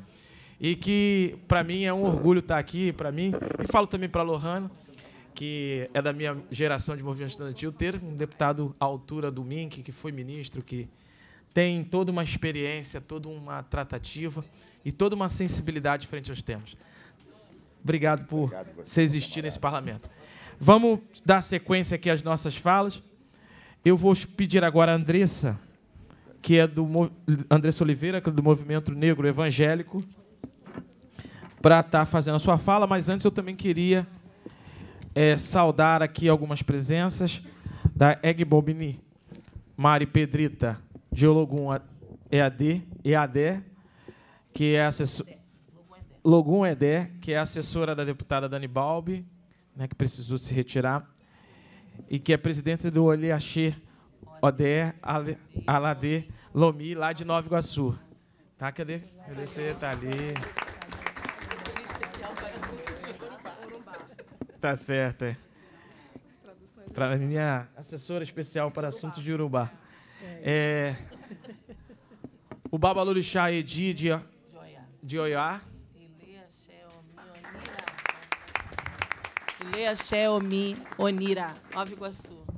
Isso, tá aqui, tá ali nosso amigo. Tá aqui Luiz Felipe de Paula Campos, que é secretário da O- geral da OAB, da Comissão de Diversidade Religiosa. O Cícero Lisboa, que também está tá representando a deputada Gisele Monteiro, que esteve aqui presente com a gente. Estava aqui presente também. Andressa, é contigo. Bom dia a todos, todas e todes. É um prazer estar aqui. Sou é, Andressa Oliveira, coordenadora do Movimento Negro Evangélico do Estado do Rio de Janeiro. Tenho alegria de ser é, cristã, evangélica desde os meus três anos de idade. Como diz na linguagem evangélica, nunca me desviei. Isso é muito engraçado. A gente, a gente brinca com isso. Os evangélicos sabem o que é essa brincadeira. É, mas tenho a alegria de ter encontrado no meu caminho, é, após um tempo de, de é, desconforto com algumas coisas que eu sentia, e me encontrado com irmãos que me trouxeram aí para a centralidade da luta é, dentro, dentro do campo evangélico, da luta contra o racismo dentro do campo evangélico, do entendimento da negritude, da centralidade da negritude na história bíblica e da própria pessoa de Jesus. A partir disso, a coisa começa a mudar. Porque quando você entende que o povo daquela história da Bíblia, na verdade, era um povo preto, né, vivendo as suas, as suas lutas e, e a, a, a, buscando a liberdade, e um Jesus preto que veio falar com seu povo preto pobre, é, não privilegiando dominância, não querendo ser governante, não querendo dominar, nunca quis. Jamais, e ele deve dizer assim: quem está dizendo isso não tem minha autorização, ele jamais quis dominar nem governar nada. Pelo contrário, ele quis estar perto do povo pobre, preto, e ajudar esse povo a se empoderar da comida e ouvir essas pessoas sem nenhum tipo de discriminação. Então, a partir disso, a gente começa a se aproximar das lutas do povo. Por que, que eu digo se aproximar? Porque a teologia domi- dominante ela traz uma ideia, como a gente ouviu aqui há poucos minutos atrás, de que não temos que dividir porque somos todos iguais. Né? Vocês lembram que isso passou aqui há, há poucos minutos atrás, alguém nessa mesa falou que não devemos dividir ninguém, porque nós somos todos um povo só e etc. E a teologia dominante, ela faz isso. Ela faz a gente que é preto achar que somos todos iguais para a gente não buscar a nossa negritude, não reivindicar os espaços de poder dentro da teologia, dentro das igrejas, não reivindicar o fim do racismo religioso, não acolher os nossos irmãos de axé, como somos todos um nós somos um povo preto, que devemos nos unir e nos fortalecer, valorizar as lutas e o nosso sagrado. A teologia tenta nos afastar disso. A teologia tenta fazer a gente acreditar que a gente não precisa disso. E aí a gente não conhece sequer movimento social dentro das igrejas. E aí a gente fica assim, poxa, mas eles são pretos e não sabem, não, não sabem, não sabem. Porque isso está vindo junto com, com um, toda uma base bíblica, de forma que a pessoa nem questiona. Imagina, você vai questionar aquilo que é dito como teu sagrado, só que não é sagrado. E aí, como, como a gente costuma dizer, né, todo mundo que é, come do fruto do conhecimento acaba sendo expulso de algum paraíso por aí. Né? Então, quando a gente começa a conhecer e, e, entender a nossa ancestralidade e entender o valor do povo de Axé para nós, como povo preto, como eu sempre digo, porque se não fosse o povo de Axé ter permanecido na resistência, eu, como mulher preta, jamais saberia qualquer coisa sobre mim. Porque foi o povo de Axé, dentro dessa religião, que guardou a nossa história. Então, se eu valorizo esse povo, eu não vou querer atacar. E aí é alguém quer que eu, como preta evangélica, o meu próprio corpo seja usado para poder atacar esse povo. Por quê? Porque aí eles não sujam as mãos, né, gente? Aí o povo branco continua com a mão limpa e dizendo são os próprios pretos que fazem entre si. Nós estamos, então, tem muita gente na luta, na disputa pela teologia negra, pela teologia que traz o negro para a centralidade de sua existência e de sua consciência. Bom, e eu quero também dizer para os irmãos a necessidade de é, entender alguns termos que se usam e saber colocá-los. Usa-se muito, e eu entendo que quem é atacado aprende um termo e acaba usando neopentecostais. Meus irmãos, de axé, vocês precisam aprender um pouco mais sobre neopentecostais, pentecostais, tradicionais. Por que, que eu estou dizendo isso? Porque, para além dos ataques que vocês recebem, existe alguns que acabam tendo a cara livrada. E vocês sentam para tomar um café com batista, com presbiteriano, com metodista. Abraça e tudo. Sendo que esse povo terrivelmente evangélico que está no STF é presbiteriano. O ministro da Educação evangélico, que foi inclusive preso, é presbiteriano, não é neopentecostal. Vamos aprender os mecanismos. A teologia dominante, toda ela é racista. Toda ela. Então, a gente precisa caminhar com quem está em busca de realmente valores de direitos humanos e democráticos. Democráticos. Não se enganem. Não existe almoço grátis. Tem gente que diz que é, mas não é. Bom, e a última coisa é que eu quero dizer que o Estado também precisa assumir o seu papel nesse, nesse processo. Não adianta culpar a população, porque a população está atingindo o povo de axé, porque etc. Porque cadê o Estado para poder resguardar o direito? Cadê o Estado? Não, o Estado sabe quando ele vai aparecer? Ele vai aparecer com a, com a polícia para poder fechar um centro espírita.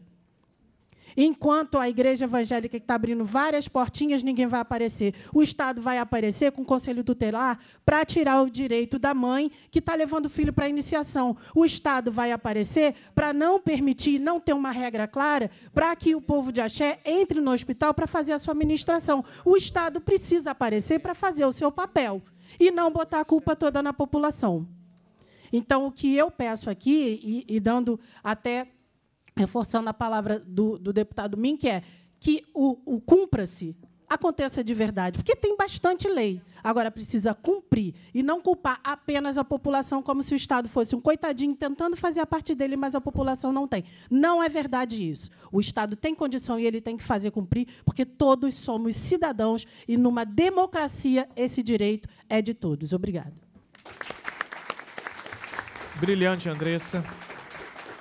É importante a gente dar um combate à intolerância religiosa, entendendo quem são os atores, entendendo que há uma ideologia dominante que se mascara né, e que joga negros contra negros, principalmente nos espaços periféricos. Muito obrigado pela sua presença, pela sua fala. Vamos dar aqui a sequência ao Leonardo Iório, que é vice-presidente da Comissão de Combate à tolerância religiosa. Da OAB, né? Em nome da Comissão de Combate à Intolerância Religiosa da OAB Rio de Janeiro, eu gostaria de cumprimentar todos e todas presentes, cumprimentar ah, o deputado professor José, Josemar pela, pela, pela, pelo convite, né, importante a nossa presença nesse momento, cumprimentar os demais excelentíssimos deputados presentes, a mesma pessoal, o deputado Mink, pela toda a sua trajetória muito reconhecida, cumprimentar aqui o doutor Justino, doutor Andressa, doutor Olga, que está aqui presente. Nisso, eu cumprimento todos aqueles líderes religiosos e demais movimentos presentes. É, doutor Luiz Campos, aqui também representando na OAB. Cumprimentar também os professores universitários aqui presentes, afinal de contas, eh, também sou professor, além de advogado, e a pesquisa é muito importante. Bom, objetivamente, a Ordem dos Advogados do Brasil, hoje, por meio da sua comissão, e dentro de tudo que já foi dito aqui hoje, acho que a maior importância nós percebemos que a lei sozinha eh, não vai dar conta desse problema que é hoje a, a questão da liberdade religiosa num país que hoje em dia nós falamos que é plural. O país sempre foi plural, mais do que plural, só estava invi inviabilizado e invisibilizada esta pluralidade. Ah, é- essa visão além da lei ela é mais do que necessária para que nós possamos, sobretudo, partir de uma compreensão histórica nossa. Eu não vou tomar o tempo aqui de todos os presentes, é, mas é, entender, sobretudo, essa nossa sociedade estamental e hierarquizada, como vem desde o tempo né, do, do Império, quer dizer, desde a formação do Estado brasileiro, e entender que, do ponto de vista hoje constitucional, aliás, aqui o nome da própria, da própria comissão que está aqui montada tem a ver com um dos objetivos da nossa República, e eu diria que a liberdade religiosa, e acho que há uma certa confusão quando se fala sobre a laicidade eh, do Estado, que a laicidade estadual significa, entre outras coisas, a obrigação do Estado de proteger a- o nosso exercício de liberdade religiosa. E eu não sei, deputado professor José Mar, deputado Carlos Mink, se nós já paramos, inclusive, cada um de nós, para pensar quantas possibilidades e quantas posições essa simples palavra liberdade religiosa engloba. Desde expressar as nossas convicções, desde nos vestir como tal, desde escrever, desde ter os nossos eh, eh, templos e associações, ou não ter associações religiosas em determinados aspectos, enfim. Há uma infinidade de posições que são decorrentes disso. O que importa é que esse tema está ligado à nossa própria existência, ao nosso próprio ser e a uma expressão que é fundamental na nossa Constituição, que é a dignidade do ser humano. A religião faz parte de nós, não tem como nós dissociarmos isso da nossa existência. E aí, quando nós adentramos nesse tema da intolerância religiosa, que também abarca uma série de possibilidades, e alguém já disse isso aqui, isso de fato afeta não só apenas, vamos dizer assim, a nossa esfera pública, isso afeta a nossa vida, a nossa saúde, a saúde da nossa família, isso nos afeta diretamente a cada um de nós. Então, é, é dentro dessa visão, e eu, eu vou puxar aqui a- a- a- o início, quando o deputado Carlos Mink falou acho que de uma coisa muito importante que eu acho que coincide bem, professor José Marcon, esse trabalho dessas comissões e de outras que já existiram, é a OAB, o que nós temos mapeado, desde que a nossa comissão tem começado a, a atuar, é que a interiorização do tema, inclusive, de- pelo menos no que diz respeito à OAB, é muito falha ainda. Eu fiz um mapeamento, eu pessoalmente, de dezenas, quase 70 das nossas subseções, pouquíssimas têm comissão de combate à intolerância religiosa, ou de liberdade religiosa, ou que seja o nome de promoção, não importa. O fato é que, quando eu estou dizendo isso, não é só pela questão da representação, é porque nós não temos o debate do tema nos locais. E é óbvio que existe também a intolerância religiosa das mais variadas formas. E aí, é- por isso a importância dessa comissão e desse diálogo com outros órgãos, como, outros órgãos, como aqui já esteve presente a meu lado, representante da Defensoria Pública. É também importante trazer o Ministério Público, é importante trazer o Poder Judiciário e acho que isso aqui já foi muito bem dito aqui, é importante que a gente possa mapear e entender esses casos, porque há, muita, há, há uma grande nuvem que nos traz a questão da subnotificação, casos que não, não chegam a ninguém, que a gente não sabe. Não é possível que no interior do estado do Rio inteiro haja tão poucas é, é, é, casos de intolerância religiosa. Então a gente precisa levar também isso, e eu diria aqui, de, de uma certa forma, que dentro dessa ideia da, da, da, da promoção da liberdade religiosa, a- é- é- é- é- esse trabalho em conjunto dos órgãos é, conta, inclusive, com todos aqui presentes. Quer dizer, não é só um trabalho dos órgãos, mas é também um trabalho de todos, para que a gente possa entender os casos concretos, entender como é que essa intolerância se faz, quem são os atores, e também compreender que não é só a questão a, a, a, da DECRAD, é claro que a DECRAD é de suma importância, não estou diminuindo aqui isso, por favor, mas não é só apenas a questão é, penal que vai resolver, até porque o Estado, a discriminação não está só em relação a, a, discriminação, inclusive, também está dentro do aparelho estatal. Por isso a importância, e eu tenho dito isso dentro da OAB, é importante levar esse debate ao judiciário, porque é o juiz, inclusive, que vai julgar alguns casos de intolerância. Se ele não está afeito ao tema, ou então, como hoje a gente muito ouve dizer, me perdoem aqui a expressão, quando é mimimi, então o tema fica realmente diminuído diante de outros temas. Então é importante que todos os atores envolvidos também no julgamento, não só a delegacia, mas o MP, que depois vai propor ação, que vai acompanhar, o judiciário, que depois vai julgar, inclusive com um detalhe que nós, inclusive, esquecemos às vezes. Além da esfera penal, nós temos que começar a caminhar também para a esfera civil. Um minuto. Que é a esfera, já vou terminar, que é a esfera civil de retribuição de cada um em relação ao dano moral quando ele é praticado. Porque quando começa a doer no bolso, gente, começa a ser diferente. Eu quero agradecer mais uma vez e, e a minha impressão é que isso tudo tem um, um, um, grande caminho dentro do diálogo e eu acho que esse auditório aqui presente hoje, esta audiência pública com pessoas tão diferentes, das mais variadas religiões, das mais variadas regiões e dos mais variados nomes, demonstra que nós precisamos ter, sobretudo, também uma visão é, vamos dizer, otimista do assunto. Então, agradeço mais uma vez ao deputado Josemar, a OAB se coloca à disposição e cumprimento a todos. Muito obrigado. Obrigado, Leonardo, doutor Leonardo. Chama aqui duas representantes dos movimentos sociais. A Ariane Magalhães, uma fala aqui de quatro minutos.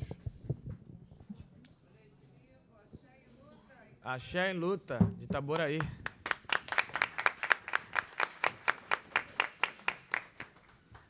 Você tem quatro minutos, tá?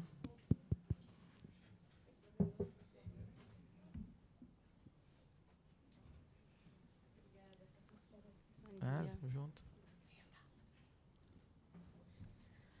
Olá, pessoal, boa tarde. Meu nome é Ariane Magalhães, sou presidenta do coletivo Axé em Luta. Antes de mais nada, gostaria de saudar a mesa, agradecer ao professor Josemar, que nos fez o convite, viabilizou nossa vinda até aqui e eu gostaria de contar um pouquinho a história do nosso coletivo, que, apesar de hoje ser um fator muito bom dentro do município de Itaboraí, ele aconteceu devido à fala criminosa do pastor Felipe Valadão, como muito bem a companheira Tânia Jandira, que tem nos ajudado bastante, sinalizou, a gente ainda não teve desdobramento do caso. Na época, a prefeitura teve que cumprir um TAC. A prefeitura cumpriu um TAC que eu chamo de fajuto, mas cumpriu. Eram 30 dias de retratação nas redes sociais, até porque o prefeito que pagou, né, com o nosso dinheiro, dinheiro público, o show gospel, ele tentou fazer meia culpa, mas o Ministério Público fez com que a prefeitura cumprisse o TAC. 30 dias de retratação nas redes sociais e 10 outdoors espalhados na cidade. Sendo que o Felipe Valadão, até agora, saiu ileso e ainda fez escárnio com a população de terreiros de Itaboraí. Como assim escárnio? Nove meses depois, ele fechou a única casa de show da cidade para abrir uma das suas igrejas da Lagoinha. Né? Então, assim, isso causa uma, uma frustração, um sentimento de impotência, por um lado, mas ao mesmo tempo, por outro lado, nos une e nos dá, força. Tanto que temos vários representantes do nosso coletivo aqui hoje, justamente para lutar e denunciar coisas que vêm acontecendo de maneira recorrente. Uma delas é a seguinte: como não teve desdobramento do caso, nós solicitamos uma audiência pública, que membros aqui da mesa estavam conosco, justamente para falar sobre racismo religioso. Quando se trata de religião de matriz africana, o termo é esse. Não tem essa de intolerância. A gente não quer ser tolerado. Não estamos aqui para ser tolerado. A gente exige respeito. É isso e não tem discussão. Além de não querermos ser tolerados, quando agridem a nossa religião, o nosso credo, isso se configura racismo religioso. Também não tem outro nome para isso. Sendo que o poder público tentou vetar a nossa audiência pública, um dia antes eu recebi um áudio, Ariane, você não sabe quantas pessoas estão dizendo para nós não liberarmos, liberarmos o plenário, cancelarmos a audiência. Eu falei assim, vocês que sabem, vocês querem comprar briga com eles ou com a gente? Vocês têm certeza disso? Enfim, aconteceu, porém a resposta veio rápido. Tem terreiro recebendo notificação de Secretaria da, da Fazenda para se regularizar, né? sendo que, muito bem disse também a nossa companheira Tânia Jandira, que existe algumas flexibilidades né, a respeito de alvará de funcionamento. Então, a gente tem que avançar para entender um pouco mais disso e levar esse conhecimento também ao nosso povo. Porque o nosso povo sofre muito realmente por falta de conhecimento, isso não é culpa deles. Como bem disse, não é. A gente sabe disso. A estrutura um social foi justamente para que a gente não tivesse acesso a isso. Existem leis, existem regras, existe tudo. Mas isso chega ao nosso povo? O nosso povo sabe como acessar, ter direito, ter plenitude, ser ouvido e pertencer? Isso não acontece. Então, assim, a gente teve, a gente sofreu violência a respeito do poder público depois dessa audiência pública. Eles deixaram um recadinho com alguns terreiros, mas sendo que as pessoas se levantaram, trouxeram-se para a gente. Aqui, Ariane, está aqui o documento da, da Fazenda, está aqui o registro sobre os supostos policiais do Ministério Público. Falei, não tem problema, não. Agora nós temos aliados e agora nós sabemos um caminho, então também levo isso para a LERJ. Então, assim, como eu já disse, né, a questão do Felipe Valadão ainda não teve solução, mas a gente não vai recuar enquanto não houver. Porque o mesmo recado que eu dei lá, eu vou dar aqui. Avisa aí. Para os intolerantes religiosos, não. Para os racistas religiosos e fundamentalistas religiosos. Que o tempo do racismo religioso acabou. E que o povo de terreiro está na rua. Conclua. O povo de terreiro está de pé. Arrasou. Vou chamar a Gláucia, a doutora Gláucia, que é da Secretaria-Geral da Comissão de Direitos Humanos da OAB. Olá. Olá, boa tarde para todo mundo aqui presente. É... Fico muito feliz de ter ouvido a fala da Ariana antes, porque eu acho que a gente está aqui. Ontem eu estava com o Josemar falando sobre o racismo que existe para frear a lei de cotas. Estávamos juntos numa mesa falando isso. E hoje a gente está falando sobre racismo por outro viés. Porque a gente não está aqui abordando simplesmente a vontade nossa de expressar nossa fé, seja ela qual for. A gente está falando de racismo. Acho que é isso o, o primeiro ponto, e a partir daí que a gente tem que desenvolver toda a nossa conversa. Né? Quando a gente fala. Eu gostei muito da, da chamada da audiência racismo religioso, não intolerância, porque intolerância não compreende de fato o que está acontecendo. O ódio e a discriminação que está acontecendo com os praticantes de diversas fés. Né? A minha mãe me ensinou a ser uma praticante de, da fé. E a minha ancestralidade, assim como todas aqui presentes, não é minoria. Nós somos maiorias minorizadas mas não, não, não nos claremos e vamos expressar essa maioria, seja aqui, seja na rua, aonde for necessário. É, enquanto CDH, Comissão de Direitos Humanos da OAB do Rio de Janeiro, ela se coloca à disposição de ouvir é, e de acompanhar também as denúncias. A gente fez, em 2019, o primeiro seminário feito pela OAB sobre diversidade religiosa. E é importante que essas denúncias, e aí acompanhando também as falas que foram feitas, que teve um aumento vertiginoso de denúncias. Mas da denúncia para a investigação, para a reparação, há um caminho que não está acontecendo com todas as denúncias. As denúncias que aumentaram seus números aumentaram porque mais pessoas estão denunciando. Mas o número real a gente ainda não tem, porque ainda muitas pessoas não estão denunciando. E sabemos que não aumentou agora a, a prática do racismo religioso não aumentou agora. Né? Então, tem que ter um acompanhamento de que, se essas denúncias estão de fato virando uma investigação, e qual é o resultado dessa investigação. Isso é muito importante. E também, acho que acompanhando essa, essa fala da Ariana, é um material abordando os direitos dos povos, povos de terreiros, dos povos de outras religiões. Porque a lei de segurança pública também tem que se aplicar para eles. A lei de igualdade também tem que se aplicar para eles.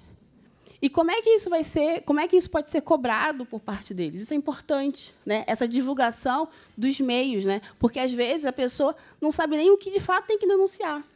Já começa às vezes por aí a problemática.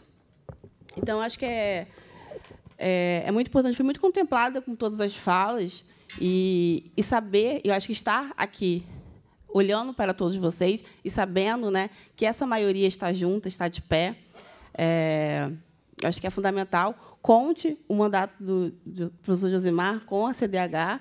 Eu acho que seja para elaborar alguma cartilha sobre os seus direitos, seja para propor né, e, e ir para a luta. Eu acho que acolher essa, essa oitiva aqui, seja as propostas aqui ouvidas, seja, depois, de repente, abrir outros canais para que outras propostas também venham. Né? E, quando a gente fala... É, na CDH teve uma, uma, chegou uma questão sobre a regularização dos terreiros, que formalização, porque e aí a necessidade deles de pertencer, né? Porque às vezes é, teve várias reintegrações feitas, despejos feitos, né? E isso não abala, né? Como é que às vezes, será que o juiz está capacitado para tratar da, do axé que tem aquela terra em relação àquele terreiro, na hora de decidir sobre a reintegração e sobre o despejo? A gente sabe que na maioria das vezes não. Então, coloca essa IDH à disposição, assim também como o mandato da Thalília Petroni, também, que fez questão de falar sobre a sua disposição de ajudar. E quero parabenizar o professor Josemar e a comissão por essa audiência pública, que eu sei que é primeira de muitas outras iniciativas que ainda vêm. E obrigado pela oitiva, gente. Obrigado, Gláucia, doutora Gláucia. Pedir a Tânia Amorim, que é do Conselho Estadual de Promoção da Liberdade Religiosa. Tânia. Tá. Já foi, né? Então, é, passar para você, Lohana. Nossa Sempre falo da Lohana assim, nossa, minha colega de movimento estudantil, para fazer a nossa fala aqui. Ela gosta de enganar as idades dela, então Som. tive que expor a verdade, né? Vou começar pedindo assessoria do presidente para tirar da fala dele essa parte que ele me conhece há 30 anos, porque aí eu sou obrigada a revelar a minha idade, né? E eu digo para todo mundo, inclusive nas redes sociais, que eu tenho 32. Então, como é que faz, Josemar? É, primeiro, boa tarde a todos, a todas e a todos. Dizer que, para mim, é, está sendo muito gratificante estar aqui. Falar por último é sempre muito ruim, porque a gente acaba sendo contemplado né, por todas as falas, até porque pessoas que estão nessa mesa são pessoas que me representam, pessoas que representam na militância, na luta. É, e quero aqui falar é, especificamente de duas pessoas. Uma, primeiro, como ele já disse, a gente se conhece um pouquinho de tempo, de militantes do movimento estudantil em Niterói e São Gonçalo, que é o professor Josemar, né, que fiquei muito feliz quando ele assumiu essa presidência. E o outro é o deputado Carlos Mink, é, que eu tenho orgulho e a honra de dizer com quem eu trabalho hoje, né, e dizer que tudo que a gente, desses últimos quatro anos, né, que ele teve à frente dessa comissão e a gente pôde acompanhar, e tudo que a gente conseguiu ter de avanço, seja de acolhimento às vítimas né, e de atendimento, foi porque ele nos permitiu fazer. Então, quero ser grata ao deputado Carlos Mink, que abre todos os espaços para a gente falar, é um guerreiro na luta contra o racismo religioso, né? várias audiências públicas, quando os, algumas casas nos procuram, até mesmo quando houve é, em 2019 para 2020, né, aquele, aquela guerra dentro da cidade do Rio de Janeiro, no estado do Rio de Janeiro, né, que são os traficantes aí expulsando as casas de terreiro. É, muitos deles precisou de ajuda até para com a mudança, para sair de suas casas. Né, e o deputado Carlos Mick sempre esteve presente, nos ajudando. E já era um companheiro desde quando eu estava, Justino, é, em direitos humanos, né? Como você falou, é, eu coordenei o Centro de Promoção da Liberdade Religiosa. Foi o primeiro equipamento público no Brasil a atender vítima de, racismo religioso, né? E hoje virou superintendência. Está o nosso amigo lá, que é o Justino. É, e quero falar também de um, de um órgão que eu coordenei, que é o GETREL, Grupo de Trabalho de Enfrentamento à Intolerância Religiosa, é, e que aí desdobrou para o primeiro Conselho é, de Liberdade Religiosa do Estado. E aí eu vou falar aqui especificamente do meu amigo, do meu companheiro Og, que está à frente dessa, desse, desse conselho. Dizer que eu fiquei muito honrada, Og, porque você acompanhou a nossa luta. Né? Quando nós nos conhecemos, a, a União Wicca do Brasil nem fazia parte do grupo de trabalho. Né? E a gente conseguiu fazer com que a União Wicca, para quem não sabe, né, representa o paganismo, os bruxos, né, e até dentro do próprio movimento religioso tinha aí um preconceito na hora de aceitar, mas a gente conseguiu fazer com que a Wicca tivesse no GETREL e hoje a Wicca está como presidente desse conselho. Então eu fico muito feliz, conselho pelo qual é, eu fui fundadora e fui membro pela primeira vez quando foi iniciado. Então, falar de racismo religioso, né, aqui no nosso estado, ele é bem complicado, né? É, porque as pessoas perguntam por que o racismo religioso, não a intolerância religiosa, né? É exatamente por números. Né? A gente aqui na, na comissão, nesses últimos três anos, só para vocês terem uma ideia, em 2020, 78,3% das vítimas que nós atendemos era de religião de matriz africana. Em 2021, é, 79,14% de religiões de matriz africana. E, em 2022, 88,9% de religiões de matriz africana. Então, os números já dizem o porquê o racismo religioso. Né? E como que a gente precisa fazer, como a gente precisa estar dentro de uma casa de leis para que a gente consiga promover e, e fazer com que o governo tenha política pública. Carlos, o deputado Carlos Mink ele falou da comissão pelo qual ele preside, que é o Cumpra-se, né? E quero dizer assim, o, o, papel fundamental dessa comissão, né? Que é, um, é uma comissão que faz com que obriga que as leis sejam cumpridas. Né? Então, é, é, é eu quero dizer algumas coisas aqui, vou falar bem rápido, que eu quero ouvir a sociedade civil, que eu acho que é importante.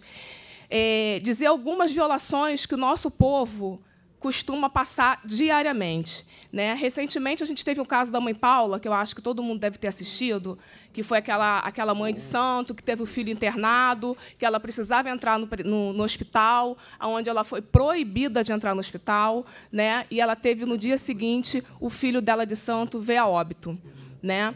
E todo mundo presenciou isso, né? Foi uma coisa que foi bem repercutida na, na mídia, né? É, existe leis para isso, né? Existe lei que faz com que a assistência religiosa dentro dos hospitais ela seja cumprida. Então eu acho, deputado Carlos Mink, presidente Josemar, a gente poderia fazer uma, uma, uma proposta que eu faço para a comissão, um levantamento de todas essas leis que existam e, junto com a sociedade civil e com o Conselho Estadual, que a gente possa é, organizar várias atividades do Cumpra-se, porque a gente sabe que isso dá, isso dá é, visibilidade e faz com que os casos andem. Recentemente, a gente fez, lá em Niterói, também o Cumpra-se no caso de racismo infantil. Né? É, esse ano, a gente atendeu quatro casos de racismo infantil em Niterói. Dos quatro casos, três foram estabelecimento comercial. Né? Existe uma lei na casa, que inclusive é do deputado, é, que pune estabelecimento né, que é conivente com o racismo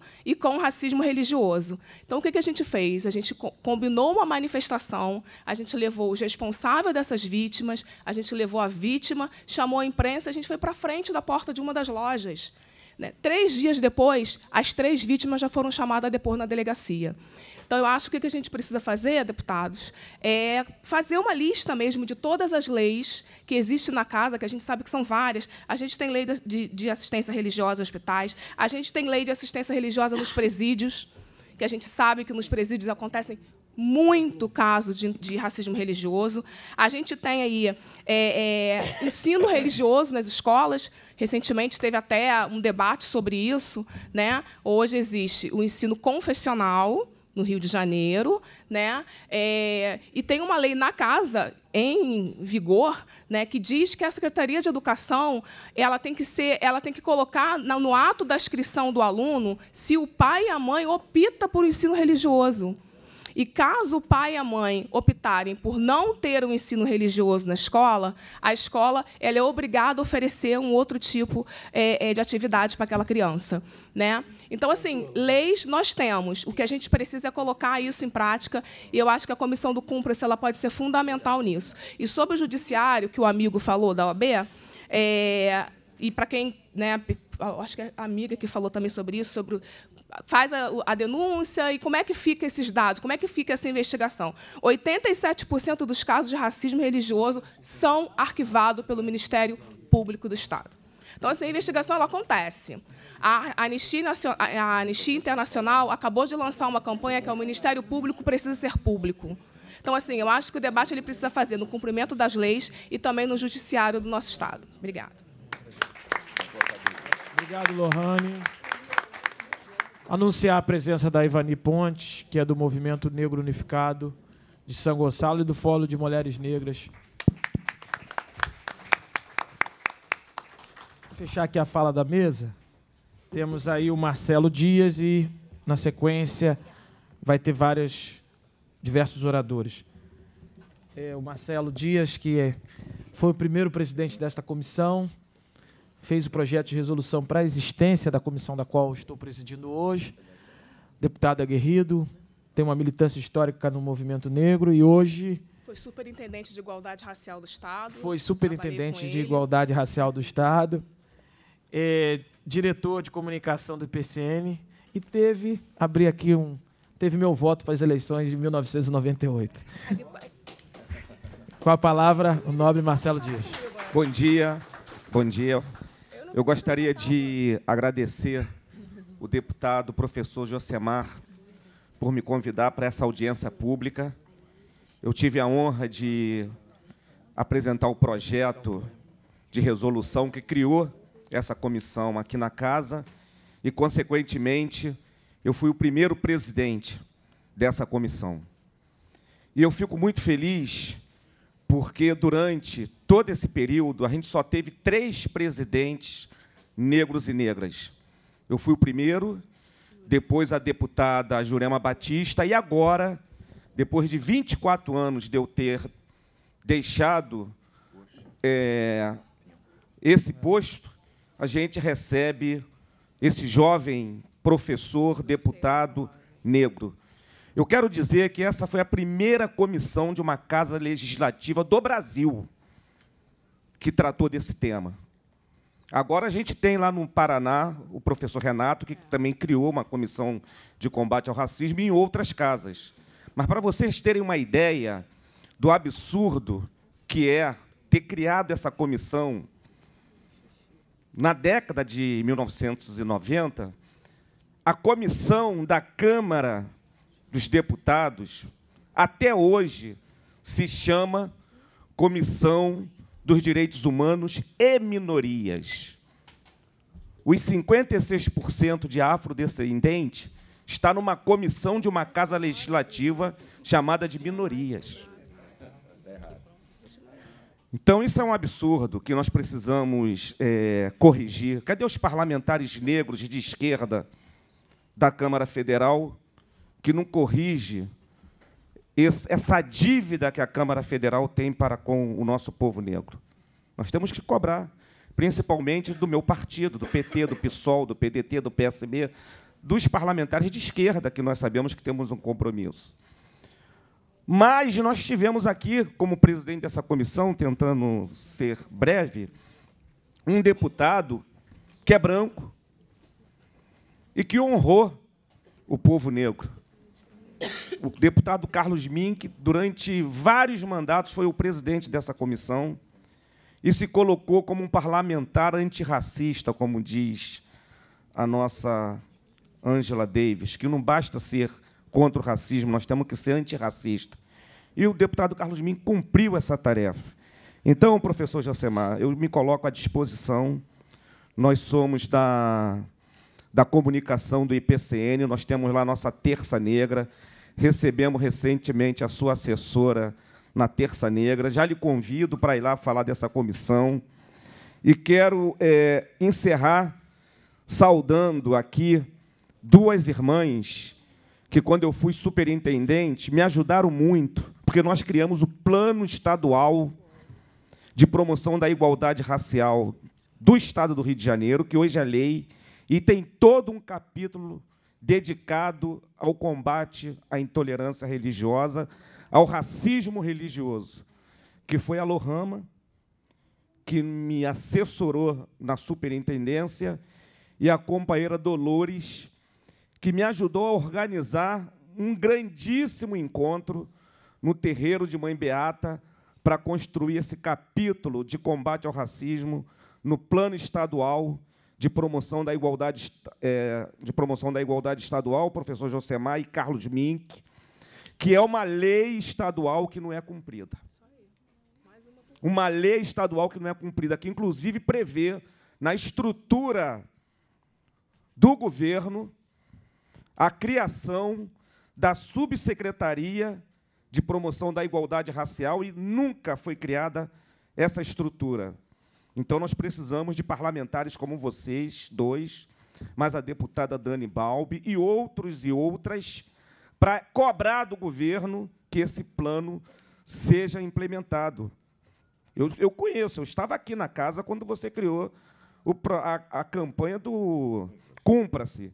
Então, vamos cobrar que o governo do Estado cumpra-se e que tenha uma mulher negra ou um homem negro como subsecretário, mas não basta criar a subsecretaria se não tiver orçamento, se não tiver verba, se não tiver é, estrutura para implementar a nossa política. Então, é, agradeço a atenção, agradeço o professor Josemar, deputado Josemar, pelo convite, me coloco enquanto diretor de comunicação do Instituto de Pesquisa da Cultura Negra à disposição do seu mandato para nós é, desenvolvermos esse trabalho. E encerro de verdade saudando os colegas advogados. Eu fui presidente da Comissão de Igualdade Racial da OAB durante sete anos e fui, durante quatro anos, encerrando, presidente da Comissão da Verdade da Escravidão Negra do Brasil, da OAB do Estado do Rio de Janeiro, onde nós construímos um relatório que eu esqueci de trazer esse relatório para entregar ao professor Josemar, mas brevemente você vai receber esse relatório, porque ali tem algumas propostas que eu gostaria de ver transformado em projeto de lei e lei aqui nessa casa. Muito obrigado, pessoal.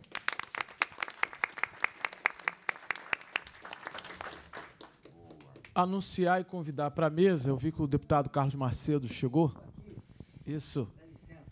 E já aproveita que a gente também membro da comissão, para dar uma saudação aqui para gente.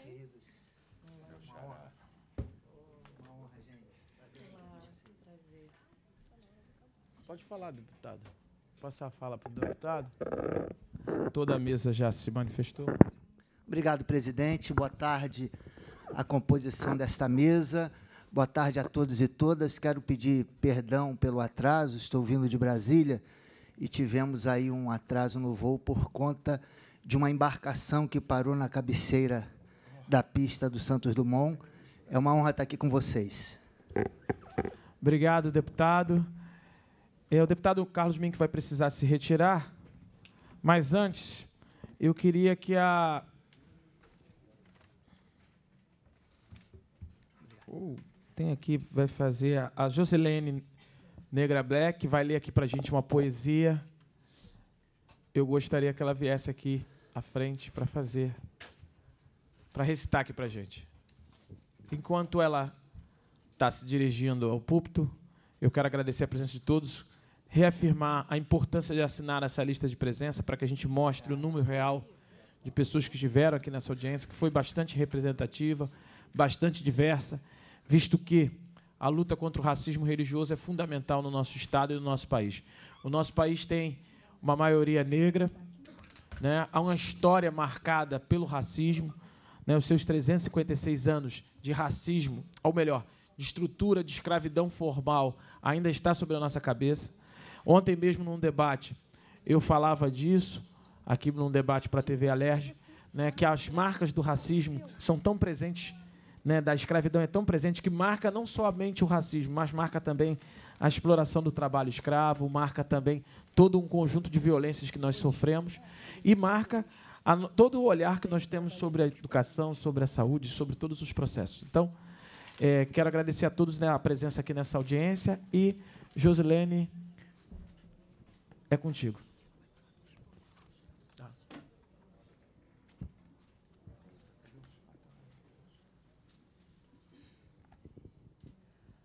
Bom dia, boa tarde a todos. Meu nome é Joselene Nega Black, é, sou de São Gonçalo e poeta. E a minha escrita é Escrevivência e Português. Dono da Rua é o título do meu poema. Sentir medo do desconhecido é normal. Agarrar-se à ignorância do achismo não cabe mais. Essa semente ruim, deixada pelo colonizador, precisa ser exterminada. Não é fácil respeitar o paradigma da encruzilhada. Exu será o diabo dessa história? Minaram sua consciência, pintando como diabo Exu? Não tem nada a ver essa mentira forjada pelo opressor. Temos livre arbítrio, possuímos capacidade para entender a raiz do fim do mundo. Ele é dono da palavra, Exu é dono da rua, abre caminho para a liberdade. Descoloniza a crença maldosa que põe a culpa no orixá.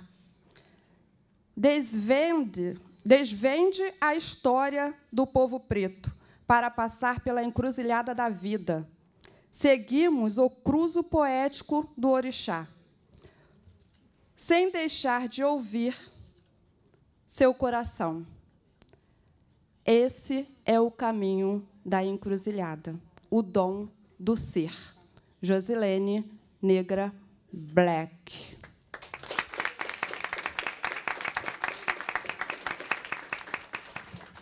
A realidade que desejo. Se essa rua minha fosse, não teria morador na rua, nem racismo. Não coagulava sangue periférico no asfalto. A miséria não se alojava. Se essa rua minha fosse, juntaria toda a pluralidade, despedia a maldade de quem por ali passasse. Dançaria sem ter medo do estupro da história. Convocaria as mulheres para irem à luta com os manos LGBTQIA, dando um basta no patriarcado. Gritaria bem alto: Marielle Franco deixou legado. Mulher preta da favela não estaria nas estatísticas de violência doméstica e nem religiosa. Pessoas não seriam excluídas. Andaria livremente de cabeça erguida. Se essa rua minha fosse, ensinaria a nova geração que respeito e amor caminham feito irmãos, sem ser abordado por polícia e ladrão. Se essa rua existisse, eu queria que fosse nossa. Josilene Nega Black. Gratimor. Esse é o meu livro, Sou de África. E o outro é Costurando Retalhos. Gratimou pela oportunidade de todos. Obrigado, Negra Black. Obrigado, Negra Black, pelas importantes poesias.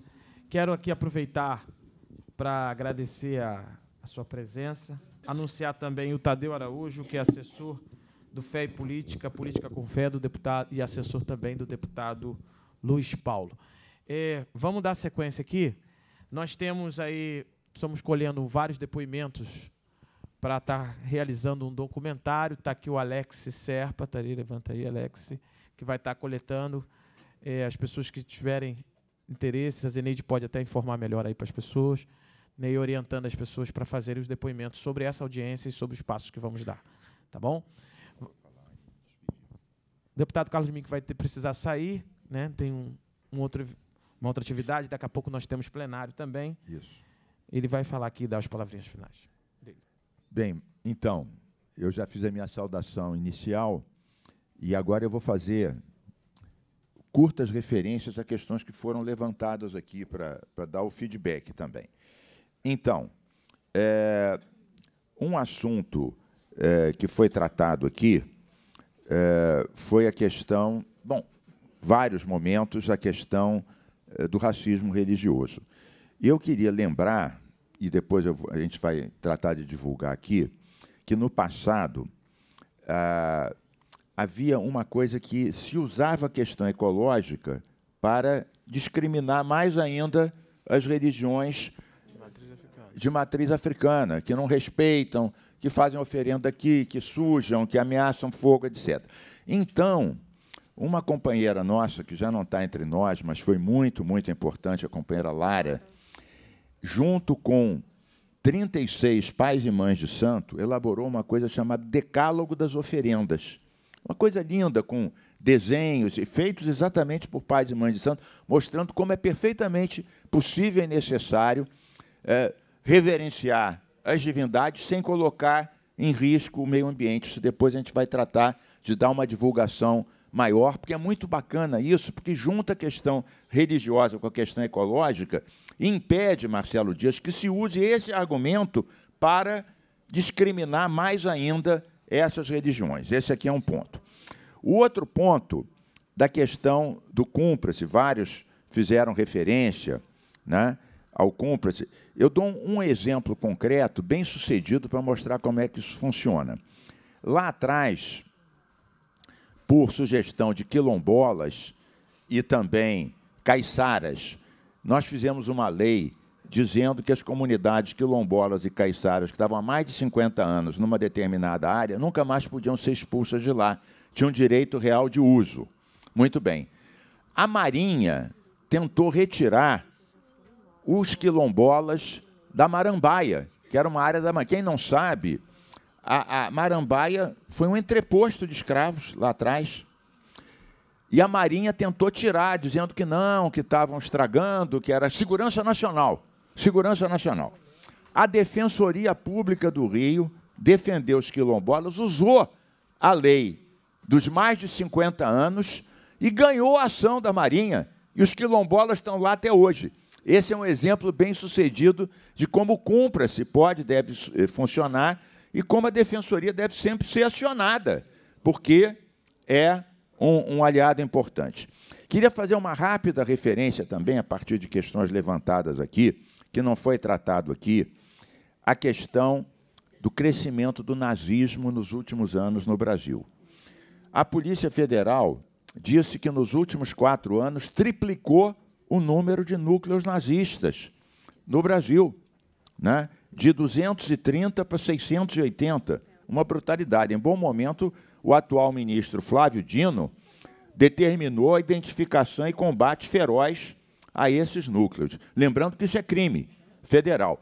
E que essa ideologia está ligada também à questão do racismo, ao antissemitismo, à violência nas escolas. Então, acho que essa comissão, meu companheiro professor Josemar, nós devemos também abraçar fortemente a bandeira de combate ao nazismo e todas essas expressões que só contribuem para o ódio e para é, o racismo. É, por fim, foi levantado também a questão das cotas. Né? Lembrando aqui que essa casa fez a lei das cotas, eu, inclusive, sou autor da lei que garante bolsa para os cotistas, e que há cerca de três anos atrás, houve um movimento do setor mais direitista e conservador aqui da Assembleia contra a lei de cotas, contra o ERJ, contra a Bolsa para os cotistas, e que essa Assembleia derrotou. Mas que essa questão não sossegou, eles vão reincidir nisso, a gente tem que estar bem, com os olhos bem abertos, até porque essa política de cotas foi um sucesso absoluto. Mostrou que não baixou a qualidade acadêmica e realmente promoveu não resolveu, claro, os problemas de exclusão, mas foi um mecanismo de inclusão importante. Então, só queria dar essas informações. Hã? Não, pode continuar. Não, era isso. Ah, e o último foi sobre a regularização dos terreiros. É, há alguns anos atrás, a comissão fez na UF, junto com o professor Wilson Madeira e junto com a Defensoria, tinha vários e vários terreiros, sobretudo de Niterói, São Gonçalo e Itaboraí, e que não estavam conseguindo se legalizar. E aí a defensoria abriu um procedimento para ajudar, facilitar, agilizar a regularização dos terreiros. Essa reunião na UF em Niterói tinha como 50 representantes de várias, várias, vários centros de Umbanda, Candomblé. Isso andou, andou. Agora, eu, eu tenho a impressão que isso perdeu um pouco de força. Então, a gente podia, professor Josemar, é, reincidir com a defensoria para essas campanhas de ajuda, simplificação e agilizar essa regularização. Não é que o terreiro tem que ser reconhecido para existir, mas é que, em havendo isso, facilita várias outras coisas. Rece eh, recebimento de apoios, inventaria. Em suma, é um instrumento de defesa, inclusive contra a violência. Então, eram essas as questões que eu queria comentar a respeito de observações feitas aqui, para também dar um feedback, que a gente está com os ouvidos bem abertos e está ouvindo também vocês e vamos incorporar, meu companheiro deputado Josemar, essas sugestões para as nossas pautas. Saudações ecolibertárias, resistência sempre, racismo nunca mais. Obrigado, deputado Carlos Menck. Vamos ao final, vamos estar tirando aqui alguns encaminhamentos, tá? Só seguir aqui as falas. O próximo é o imã Hitham Hamed, que vai estar aqui representando a Associação Hamadia do Islã.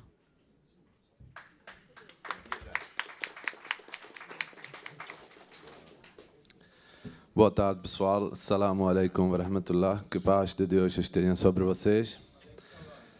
Antes de tudo, vou corrigir só o meu nome, porque não é tão difícil, você dificultou mais. É porque eu não podia usar ela aqui, não é Irubá. Irubá eu tenho, eu tenho aqui a ajuda dela, nas outras línguas eu não tenho. O nome, meu nome é Itcham, é forma mais adaptada, né? mais fácil. É, eu sou imã que é o líder religioso da comunidade muçulmana e também sou vice-presidente da comunidade muçulmana Ahmadiyya do Brasil. Estou aqui no Brasil faz três anos, eh, estamos servindo e também lutando eh, pela liberdade e para combater esse racismo religioso, né? Sabemos que no islamismo, quando falamos do islamismo, eh, um fato muito importante não é é, falar ou acabar com o racismo, antes de tudo, também é muito importante para nós, como muçulmanos, desfazer a imagem que é criado para a sociedade ocidental é, sobre islamismo, né? Sempre que as pessoas falam do Islã, sempre que as pessoas falam do muçulmano ou da muçulmana, é muito vinculado com terrorismo, fanatismo, né? eu com essa roupa aqui no Rio, em três anos, ouvi várias vezes andando na rua, bum, bum. O homem bomba, minha esposa comigo ouvindo, mulher bomba. Isso tornou muito normal para as pessoas falarem. Mas para nós que sofremos isso na pele, realmente é um absurdo. Eu conheço muitas pessoas, muitas mulheres muçulmanas revertidas aqui brasileiras, elas desistiram de usar o véu por conta dessa agressão, por conta dessa estimulação moral. Muitas mulheres que saíram com véu e quando saem na rua, as pessoas, por conta da sua ignorância, pura ignorância, eles, uh, eu conheço um caso que um homem que uh, viu ela, ele uh, jogou uma garrafa do vidro que bateu na cabeça dela e na mão dela. E a partir daquele ponto ela nunca mais vestiu o véu, ela desistiu, ela continua pregando, continua seguindo as práticas do islamismo, mas nunca mais seguiu eh, com eh, o vestimento. Então realmente é uma coisa que nós precisamos combater, né? Eh, a sociedade hoje em dia não consegue aceitar tudo que é diferente, né? Seja vestimento, seja seja prática religiosa, seja uma opinião diferente, seja política, seja em religião. E nós estamos aqui, como líderes religiosos, líderes políticos, eh, juntamente eh, lutar esse racismo. Eu também escolho essa palavra que realmente é um racismo religioso. Eu também sofri um caso de intolerância eh, no início, quando cheguei aqui. eu estava pregando, fazendo panfletagem também e nós, nossa comunidade foi fundada 130 anos atrás eh, por Mirza Ghulam Ahmed, que proclamou ser Messias prometido. Porque nos muçulmanos existe a profecia de vinda do Messias, como existe entre eh, outras literaturas também. E nós, a nossa comunidade, entre toda a comunidade islâmica, é a única que acredita na vinda do Messias prometido. Então, nós não só uh, temos essa perseguição de islamofobia fora da comunidade, mas também dentro da comunidade islâmica, a nossa comunidade é perseguida. Por exemplo, a nossa comunidade Ahmadiyya, no Paquistão, de onde eu sou, é declarada não muçulmana. Então, eu, no Paquistão, um país islâmico, eu não posso é, rezar, eu não posso ir na mesquita, eu não posso recitar nosso, o nosso livro sagrado, Alcorão, e da mesma forma, nós não podemos construir as mesquitas. E as mesquitas que são construídas antes dessa constituição que declara nós como não muçulmanos, essas mesquitas são pouco a pouco derrubadas. Mas falando do eh, incidente que aconteceu comigo, aí eu estava com a imagem do nosso fundador e estava escrito Um Messias já chegou. Um minuto. Só vou finalizar com esse incidente. Aí eu estava aqui na Uruguaiana e as pessoas, tinha dois eh, meninos, adolescentes, me aproximaram e eles me perguntaram. No início, eu, com minha inocência, eu comecei a explicar e tudo mais. Só que pouco a pouco eles começaram a ser mais assim violentos. Por que você está pregando aqui? Aqui você não pode falar isso tudo.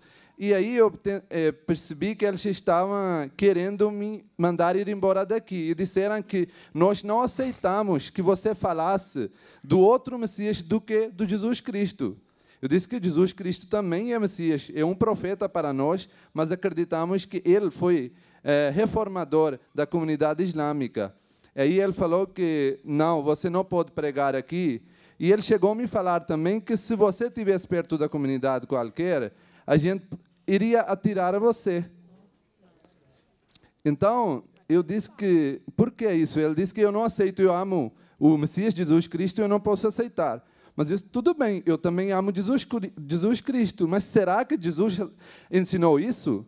Será que Jesus queria que os seus seguidores eh, faz- fizessem isso? Será que é uma melhor forma de demonstrar amor a Jesus Cristo? Dessa forma? Diz que é, eu não sei o que, mas eu não aceito isso. Eu também não eh, demorei muito, eu arrumei as minhas coisas e eu fui embora.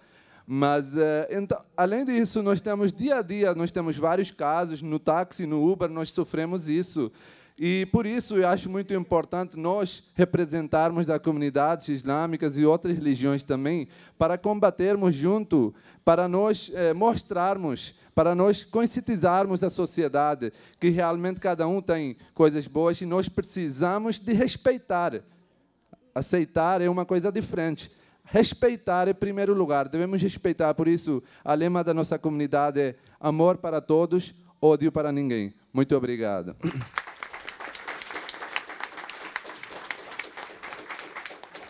Passar a palavra agora para o Babalorixá Roberto Carlos, para fazer sua fala. E o próximo é o Felipe Car- Barbosa Carvalho. Tá aí? Cadê o Felipe?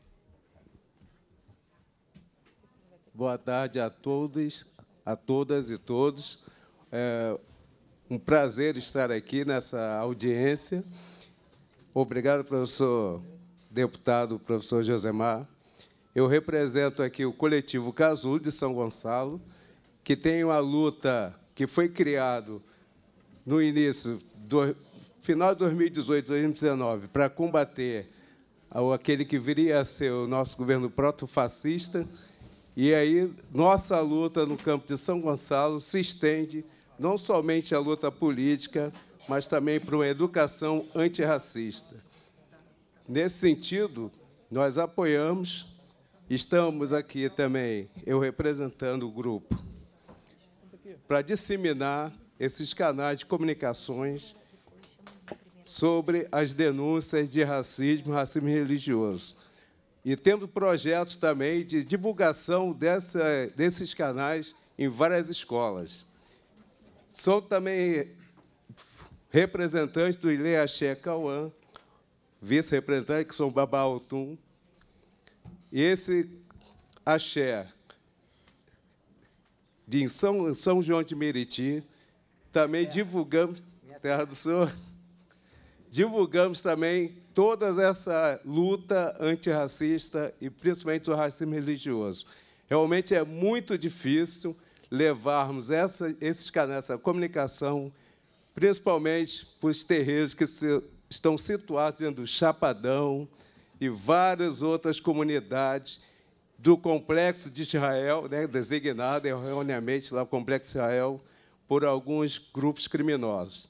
Então, nós, eu estou aqui em apoio à audiência, essa comissão, estamos de braços dados para divulgar, acompanhar e criticar né, a falta de alguma ação venha a ocorrer. Muito obrigado a todos e a todas. Obrigado, Roberto. Eu vou Roberto. O próximo é o Felipe e depois é a Ana Luísa. Roberto não está aí?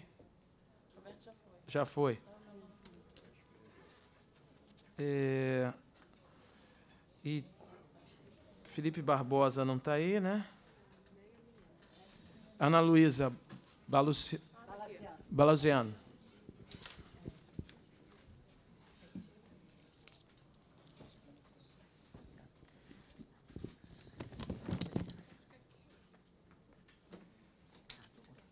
Procura sim.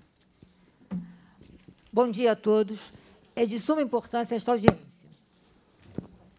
É, estou aqui enquanto judia, coordenadora do diálogo interreligioso e interétnico da Associação Religiosa Israelita ARE, membro também da Comissão de Combate à Intolerância Religiosa, ao CONEPRI, ao Conselho Estadual de Direitos Humanos e a tantos outros lugares em que a gente procura trabalhar a questão do preconceito, buscando diálogo e para a paz. É, nesses órgãos, eu estou como suplente, aqui estou representando Diane Cooperman, que, por conta de uma Covid branda, que já está bem, não pôde estar presente. É, sem sombra de dúvidas, a ponta do iceberg são os casos de é, racismo religioso contra a, as, é as religiões de matriz africanas. Mas eu trago aqui também é um outro ponto histórico que aconteceu em 2003 e trazendo para vocês a questão que o que, nos, o que afeta um grupo afeta a toda a sociedade. Então, enquanto nós nos afetarmos com todos os acontecimentos de racismo religioso, não importa se está ligado ao nosso grupo ou não, as questões maiores da sociedade não vão é, poderem acontecer. Então, eu trago aqui rapidamente é um caso emblemático que aconteceu em 2003. O Supremo Tribunal Federal confirmou em setembro de 2020, 2003, por oito votos a três, condenação pelo crime de prática de racismo de Elvanger. Não sei se alguém aqui se lembra desse caso. Este vinha, no correr dos anos, dedicando-se de maneira sistêmica a deliberar e publicar livros notoriamente antissemitas, como os protocolos dos sábios de Sião. É, e o caso Enver, então, é um marco na jurisprudência dos direitos humanos, cuja prevalência na Constituição de 88 é uma das notas identificadoras do Estado democrático de direito. E é graças a, esse, a essa decisão do Supremo Tribunal Federal, em 2003, né, que reconhece que o antissemitismo é uma forma de racismo. E sem essa decisão, o preconceito religioso contra um crime de contra um grupo, uma etnia, possivelmente não seria considerado crime. Então, essa questão que a gente tem hoje do racismo religioso ser considerado crime, tem esse caso emblemático e exemplar de 2003, que aconteceu, no caso, é, com a comunidade judaica. E a gente tem que. É, embora a gente saiba de todos os casos que acontecem, né, como eu falei, a ponta do iceberg na, nas religiões de matriz africanas, mas a gente sabe que o antissemitismo ele aparece sempre com nós fascistas. E desde a semana da semana de, de Páscoa, né, para os católicos e persa para o, para o judaísmo, e no decorrer das duas semanas, eu acho que é notório que vocês devam saber as ameaças que aconteceram com as escolas e as universidades. A cada momento as escolas seriam ameaçadas, as universidades Conclua. também, inclusive com, com imagens colocando ódio aos judeus, com símbolos e tudo mais. Então, eu acho que são questões é, pertinentes, né, nossas, e que a gente tem que estar sempre junto, como eu falei, nesses diferentes lugares em que a Diane, eu e outras pessoas da comunidade participamos, eu acho que demonstra é, esse, esse vínculo de respeito e confiabilidade que temos que ter para é, nos afetarmos com, não importa qual seja a discriminação ou racismo religioso. Obrigada a todos. Obrigado, Ana Luísa. Jaqueline Oliveira se encontra, que é do terreiro Vovó Cambinda. Ela esteve aqui, então era a próxima fala. Patrick Melo, do Iniciativa Direito e Memória. Ótimo. Boa tarde eh, a todas as pessoas presentes aqui hoje. Eu gostaria de pedir a bênção às minhas mais velhas e meus mais velhos e mais novos aqui presentes. Eh, saudar a mesa e parabenizar a iniciativa dessa audiência ao presidente da Comissão de Combate a Discriminações por raça, credo, cor, etnia, religião, gênero e todas essas coisas. Eu queria fazer uma provocação, na verdade. Eu acho que muitas coisas já foram faladas aqui, é, mas para para deixar registrado mesmo nos anais dessa casa, porque eu acho muito importante que a gente faça algumas reflexões. Todas as vezes em que a gente teve representantes nessa mesa que são da sociedade civil ou de movimentos e que vieram nesse púlpito falar, a gente falou principalmente e com algum tipo de prioridade a questão de políticas de atendimento social a essas populações. E todas as vezes que representantes dessa institucionalidade ou do Estado vão falar aqui, a gente vê sempre um, um- um processo de reforçar é, a militarização e, principalmente, reforçar o uso da DECRAD como única via ou a via principal para o tratamento dos casos de racismo e intolerância religiosa. É, eu acho que é importante a gente lembrar, na história desse país, na história da humanidade, na verdade, assim, o direito ele nasce para defender a propriedade privada e para defender o cidadão.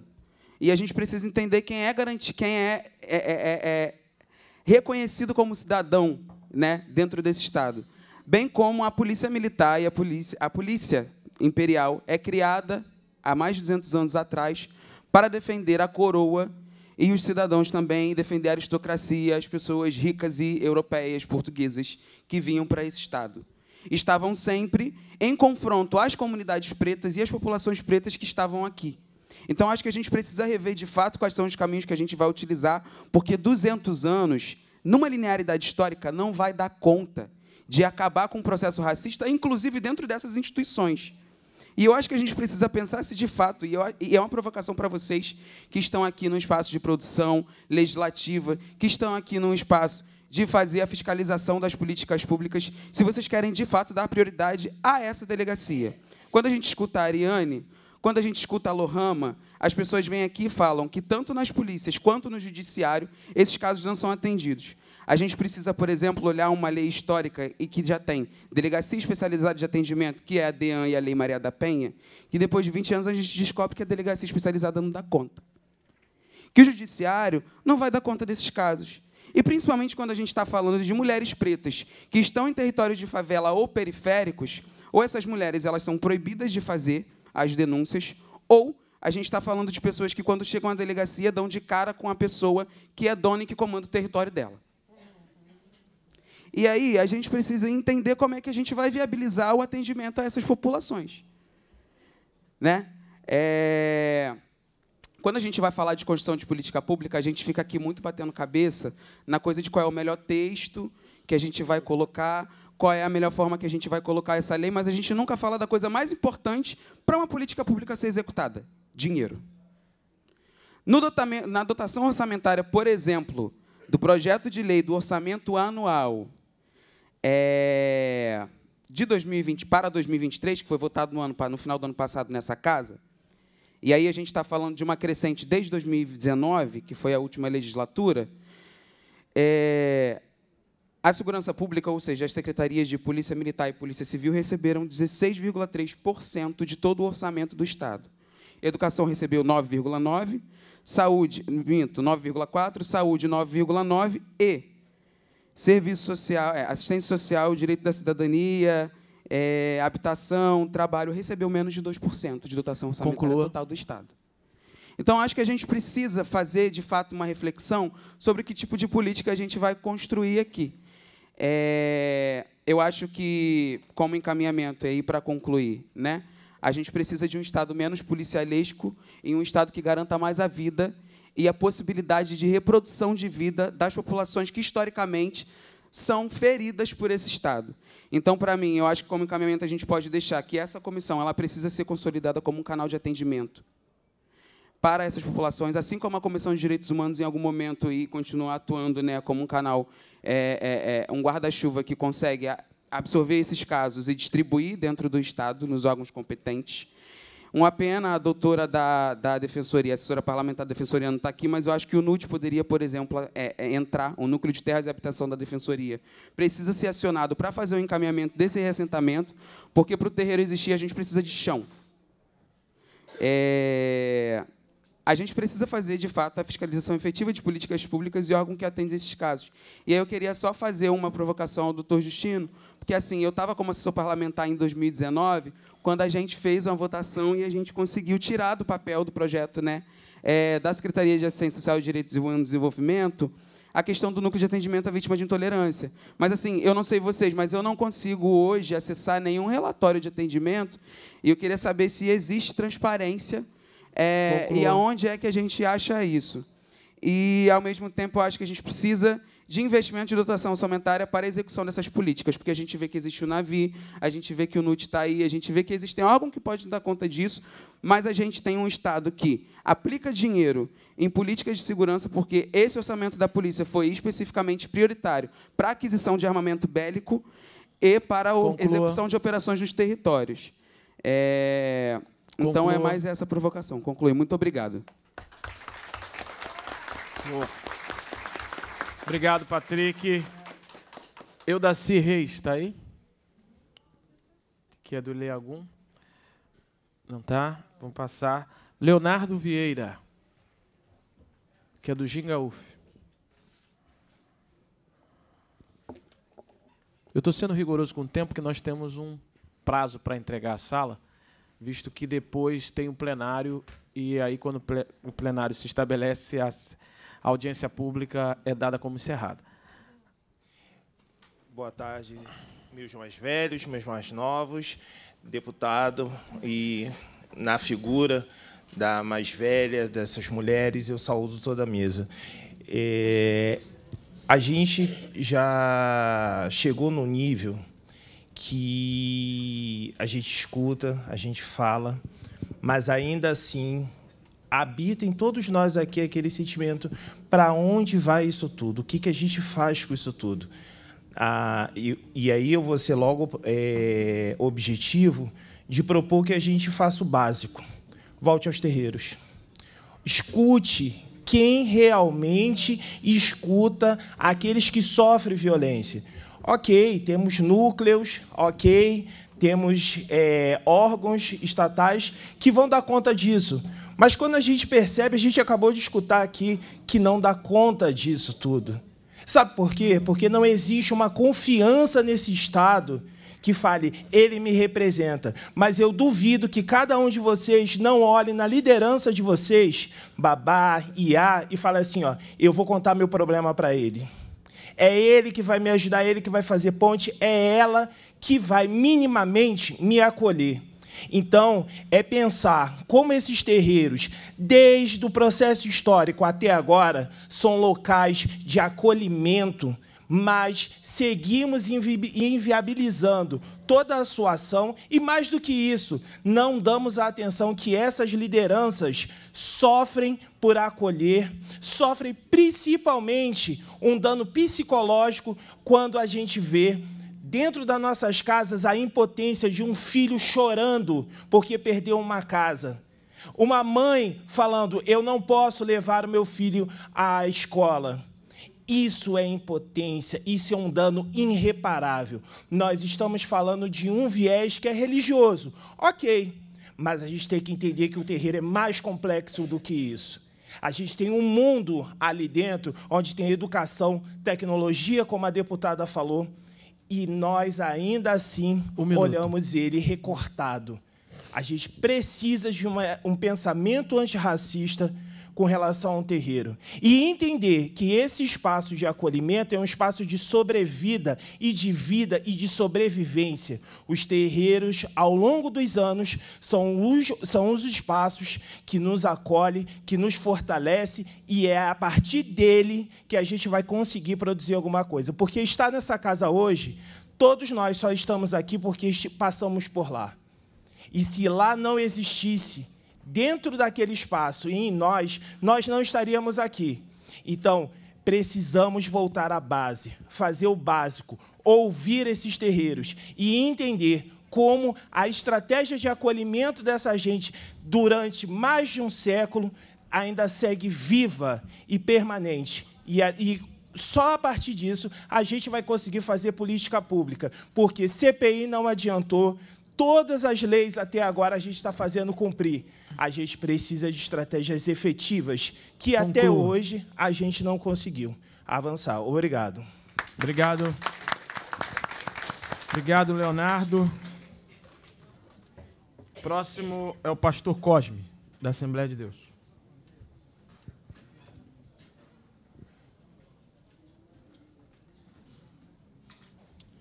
Boa tarde a todas e todos.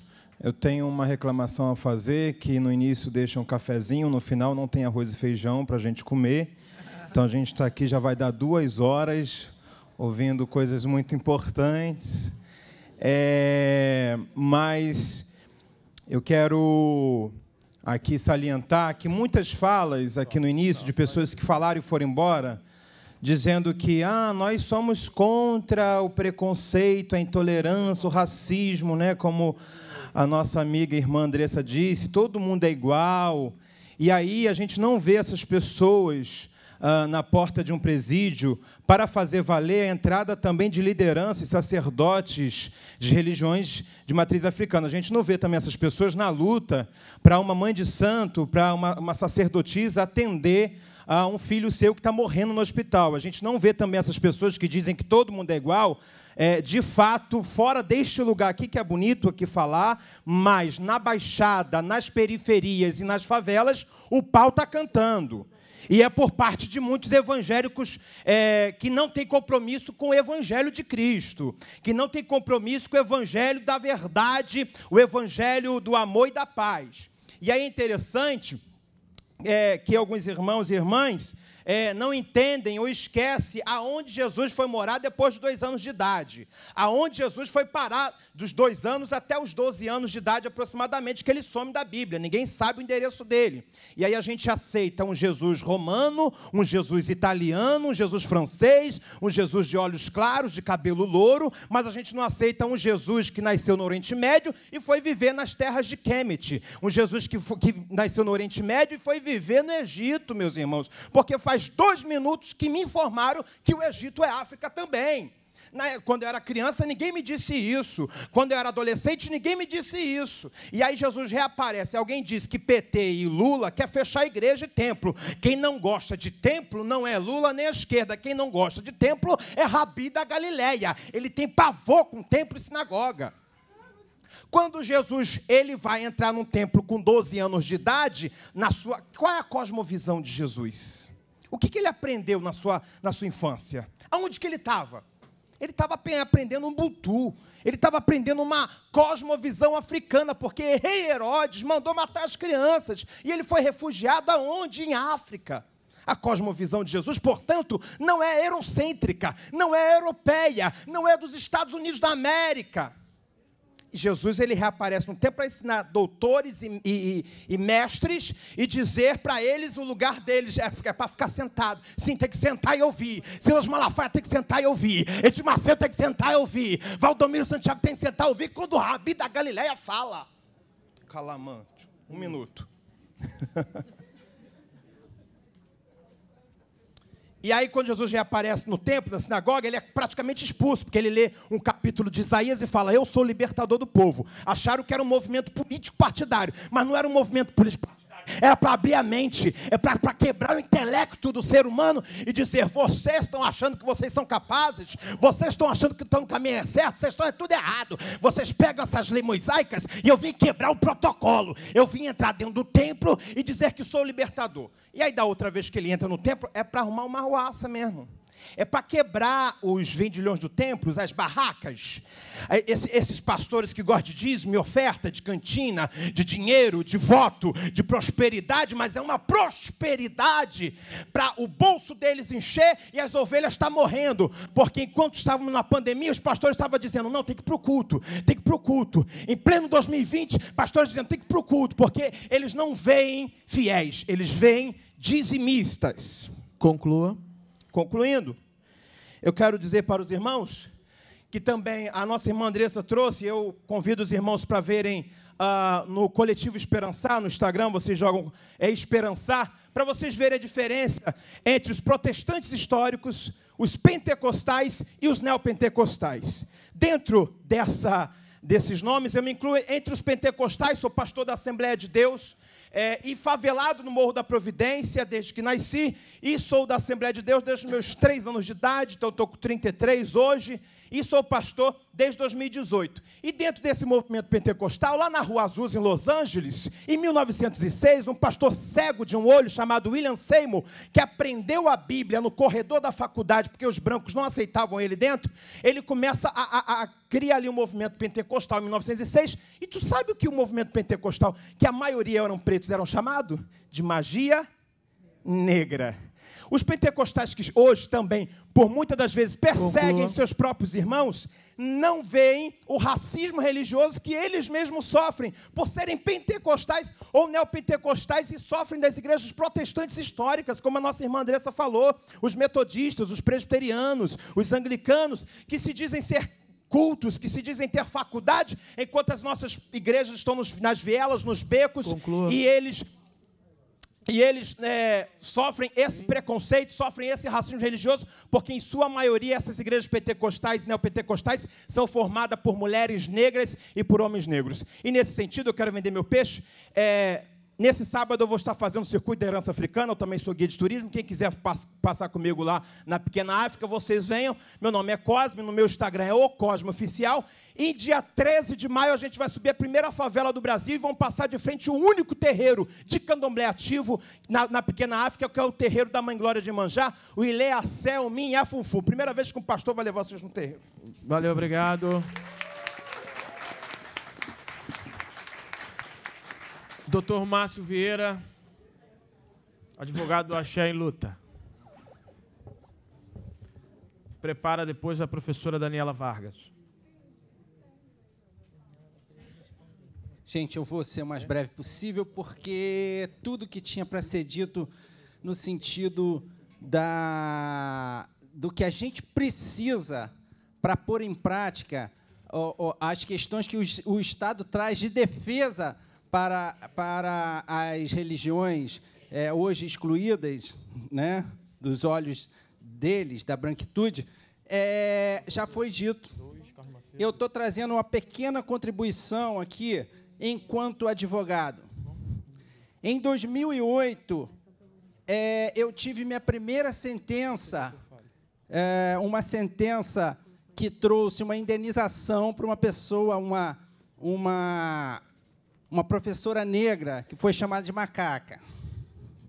Em 2008, a, a sentença civil de indenização ela saiu com aproximadamente quatro anos. E em 2014 o processo criminal foi arquivado. E o que, que acontece? O preparar desses processos é que está sendo é, negligenciado. Por quê?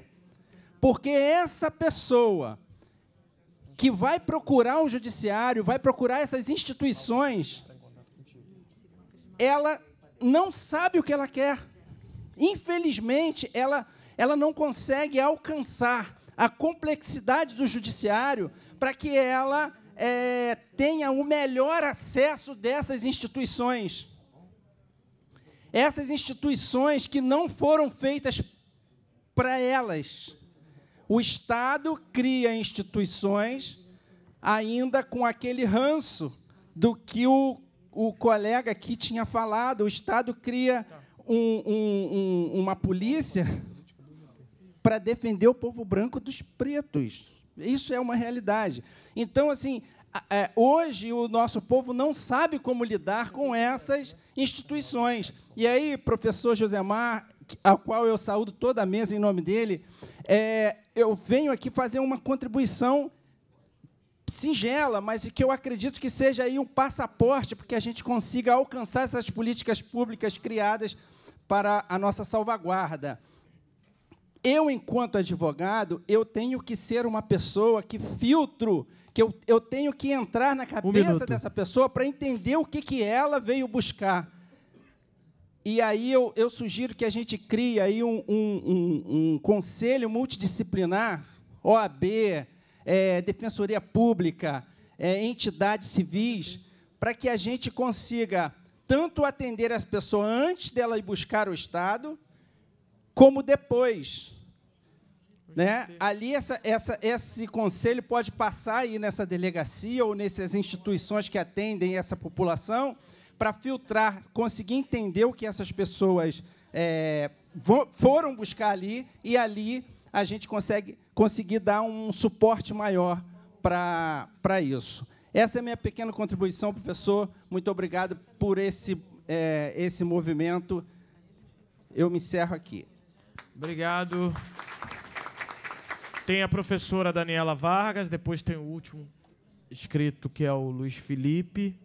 E aí a gente vai dar, começar a dar encerramento. Qual o seu nome? Deixa eu pegar aqui. Nelson. Nelson. Tá. Tá. Bom. É porque não chegou até aqui, de repente eu. Qual é o seu nome? Leonor. Tá. É. Claro. Pois é, pois é.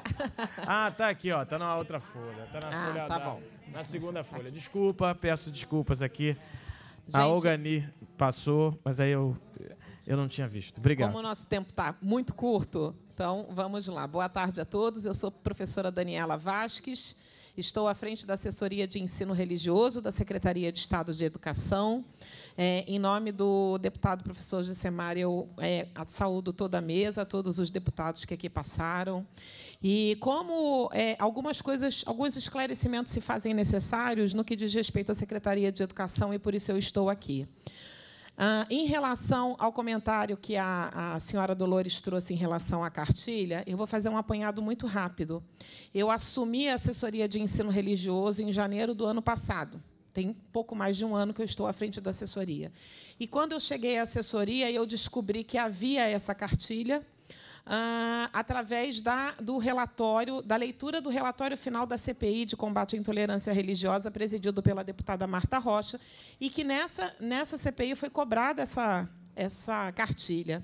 E quando eu acessei a cartilha, eu descobri que a cartilha estava parada desde 2018 na Secretaria de Educação.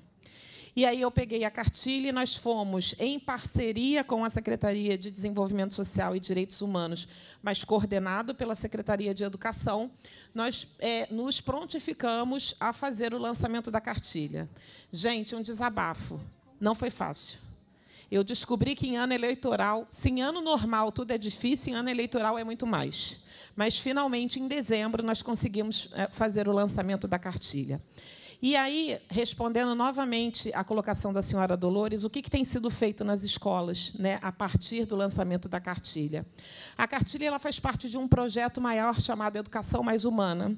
E é um projeto cujo foco é basicamente o combate à intolerância, racismo e preconceito religioso nas escolas do Estado do Rio de Janeiro, 1.233 unidades escolares. Ah, esse projeto já está pronto, ele está praticamente todo ele dentro do site da Secretaria de Educação.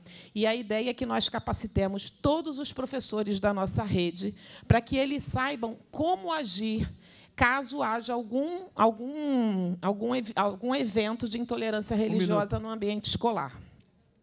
Para além disso, além da capacitação de todos os professores da nossa rede, eh, nós também tivemos uma conversa com a Lohama no final do ano passado, e uma coisa ficou muito latente na minha cabeça na nossa conversa, que ela disse para mim que várias denúncias chegavam a, a ela, mas para mim não chegava. Então, a secretaria ela tem uma ouvidoria, e nessa ouvidoria, no passado, nós tivemos duas denúncias. E aí eu fiquei pensando por que, que isso não chegava. E aí eu cheguei à conclusão de que os nossos alunos, os nossos professores, porque não é só aluno que sofre intolerância, professor, ah, o pessoal de apoio, enfim, todos eles também sofrem esse caso. E aí eu fiquei pensando assim, talvez eles não queiram chegar até a ouvidoria. Então, nós, enquanto Secretaria de Educação, precisamos chegar até eles. Então, nós estamos lançando também esse, esse ano um protocolo de atendimento, onde a escola terá que notificar os casos de intolerância religiosa para que nós tenhamos um número real de casos e que possamos agir. Exatamente. Né? Então, isso está sendo lançado Conclua. junto com o projeto Educação Mais Humana, e a Secretaria de Educação está é, com as portas abertas. Em parceria com o Coneplir, nós tivemos aí no dia 14 a abertura da. Secretaria de Educação para que toda e qualquer liderança religiosa possa se cadastrar junto à Secretaria para poder ah, eh, credenciar os professores da nossa rede. O nosso ensino religioso é confessional, mas ele é plural. E nós queremos ter professores de ensino religioso da nossa rede de todos os credos e de todas as matrizes religiosas. Esse é o sonho da secretaria e o convite está aberto. Quero agradecer pela oportunidade e dizer que a secretaria está à disposição. Muito obrigada. Obrigado. Luiz Felipe de Paula, da OAB Barra da Tijuca. É, bom, bom, boa tarde a todos, a todos presentes, minha bênção de todos indistintamente nessa, nessa tarde de hoje. É, primeira coisa que eu quero falar aos colegas advogados: não adianta lutarmos todos de um lado, cada um individualmente. Precisamos todos sentar para conversar em comum com as comissões que já existem. E se não existem, nós fundaremos. Isso é um recado dos advogados que estão aqui presentes, meus colegas de profissão, e que a qual quem sofre na militância está aí junto. É, muito foi dito aqui, e eu achei interessante, a questão da segurança pública. É, eu acho que não é dado, por exemplo, presidente, que a Decrad ela teve uma insolvência de, de funcionários muito grande, de 12 caiu para 8. Não adianta a gente querer estender a Decrad para outros municípios, outras sucursais dentro do estado do Rio de Janeiro, se a uma, a gente falou aqui, dotação orçamentária. Segundo, tem um concurso de polícia que foi feito, realizado no período da pandemia e que existem outras pessoas para serem chamadas. Então, por que, que não aproveitemos esse momento que temos um concurso já finalizado, com o TAF já feito? E desculpa para quem não sabe, o TAF é o, é o, é o, é o instrumento pelo qual, antes da pessoa tomar posse, ir a cada exercer a função de polícia. Então, esse é um ponto que é relevante. Precisamos de estrutura. Judiciário não, não vai adiantar a gente poder fazer uma série de coisas se não falta autoria. Porque um dos requisitos para o crime é autoria e materialidade. Eu tenho materialidade. E autoria de quem é? Muito se foi dito aqui. Existe um problema que não há comunicação. Ou quando há, ela é muito precária. Os dados, quando chegam, são muito precários. Eu fui advogado do navio, e aí, a Dolores, eu quero pedir para que leve o Marcelo Monteiro, o meu amigo, um grande abraço.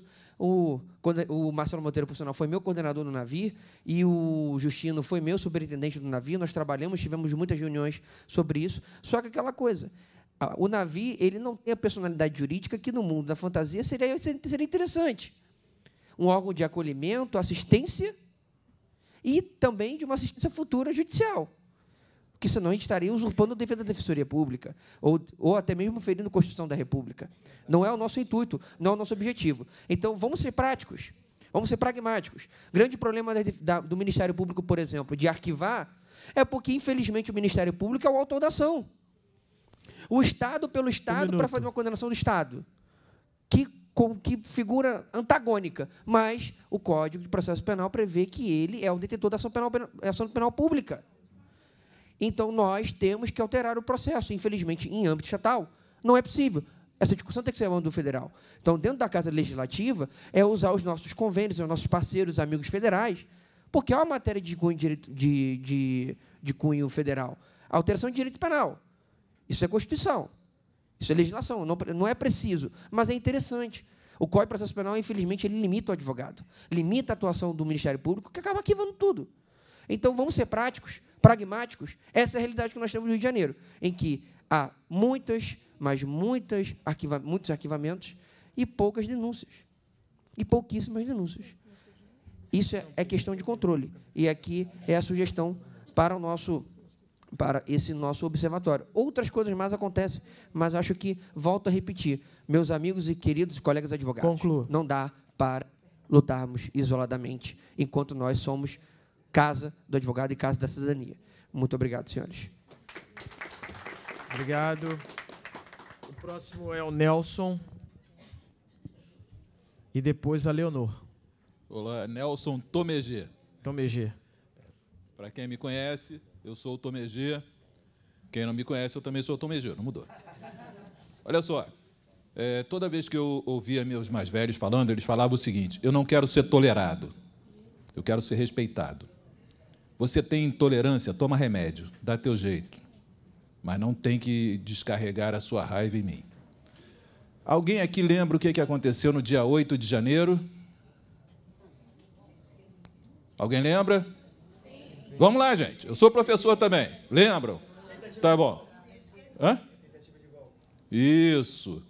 Vocês sabem o que é está acontecendo? A Polícia Federal está batendo na porta de todo mundo, não é? Todo mundo viu. Mas por que, que a gente não lembra que o terreiro de Fulano foi incendiado? Por que, que a gente não lembra que uma menina de 14 anos estava na rua de branco e levou uma pedrada? Uma outra estava ouvindo samba e levou uma facada no olho. A lei, se vocês aqui, se alguém aqui, vocês também, também, tem medo de pronunciar a palavra terrorismo, está liberado. Está liberado. A partir do dia 8 de janeiro, terrorismo está liberado. E a mesma lei que fala sobre terrorismo inclui as casas é, religiosas. Então vamos mudar um pouquinho a graça, porque está engraçado isso, né? A gente fala, não, você é intolerante, você é preconceito, você é racista contra as matrizes africanas. E quando quebram as nossas casas, vocês querem usar as mesmas palavras? Olha só, eu posso não gostar do senhor, da senhora, da senhora, beleza. Mas a partir do momento que eu entrar na sua casa, destruir tudo, eu não estou sendo mais racista, intolerante ou preconceituoso. Eu estou sendo terrorista. Então, nesse aspecto, eu só peço isso. Eu só quero ouvir na tribuna alguém levantar a voz e falar que depredação, ataque, destruir tudo, botar arma na cabeça de uma mãe de santo e mandar ela quebrar seus assentamentos, é terrorismo, não é intolerância. Obrigado. Obrigado, Nelson. Leonor Leonídio. E a última vai ser a Rosane Nobre, de Itaboraí.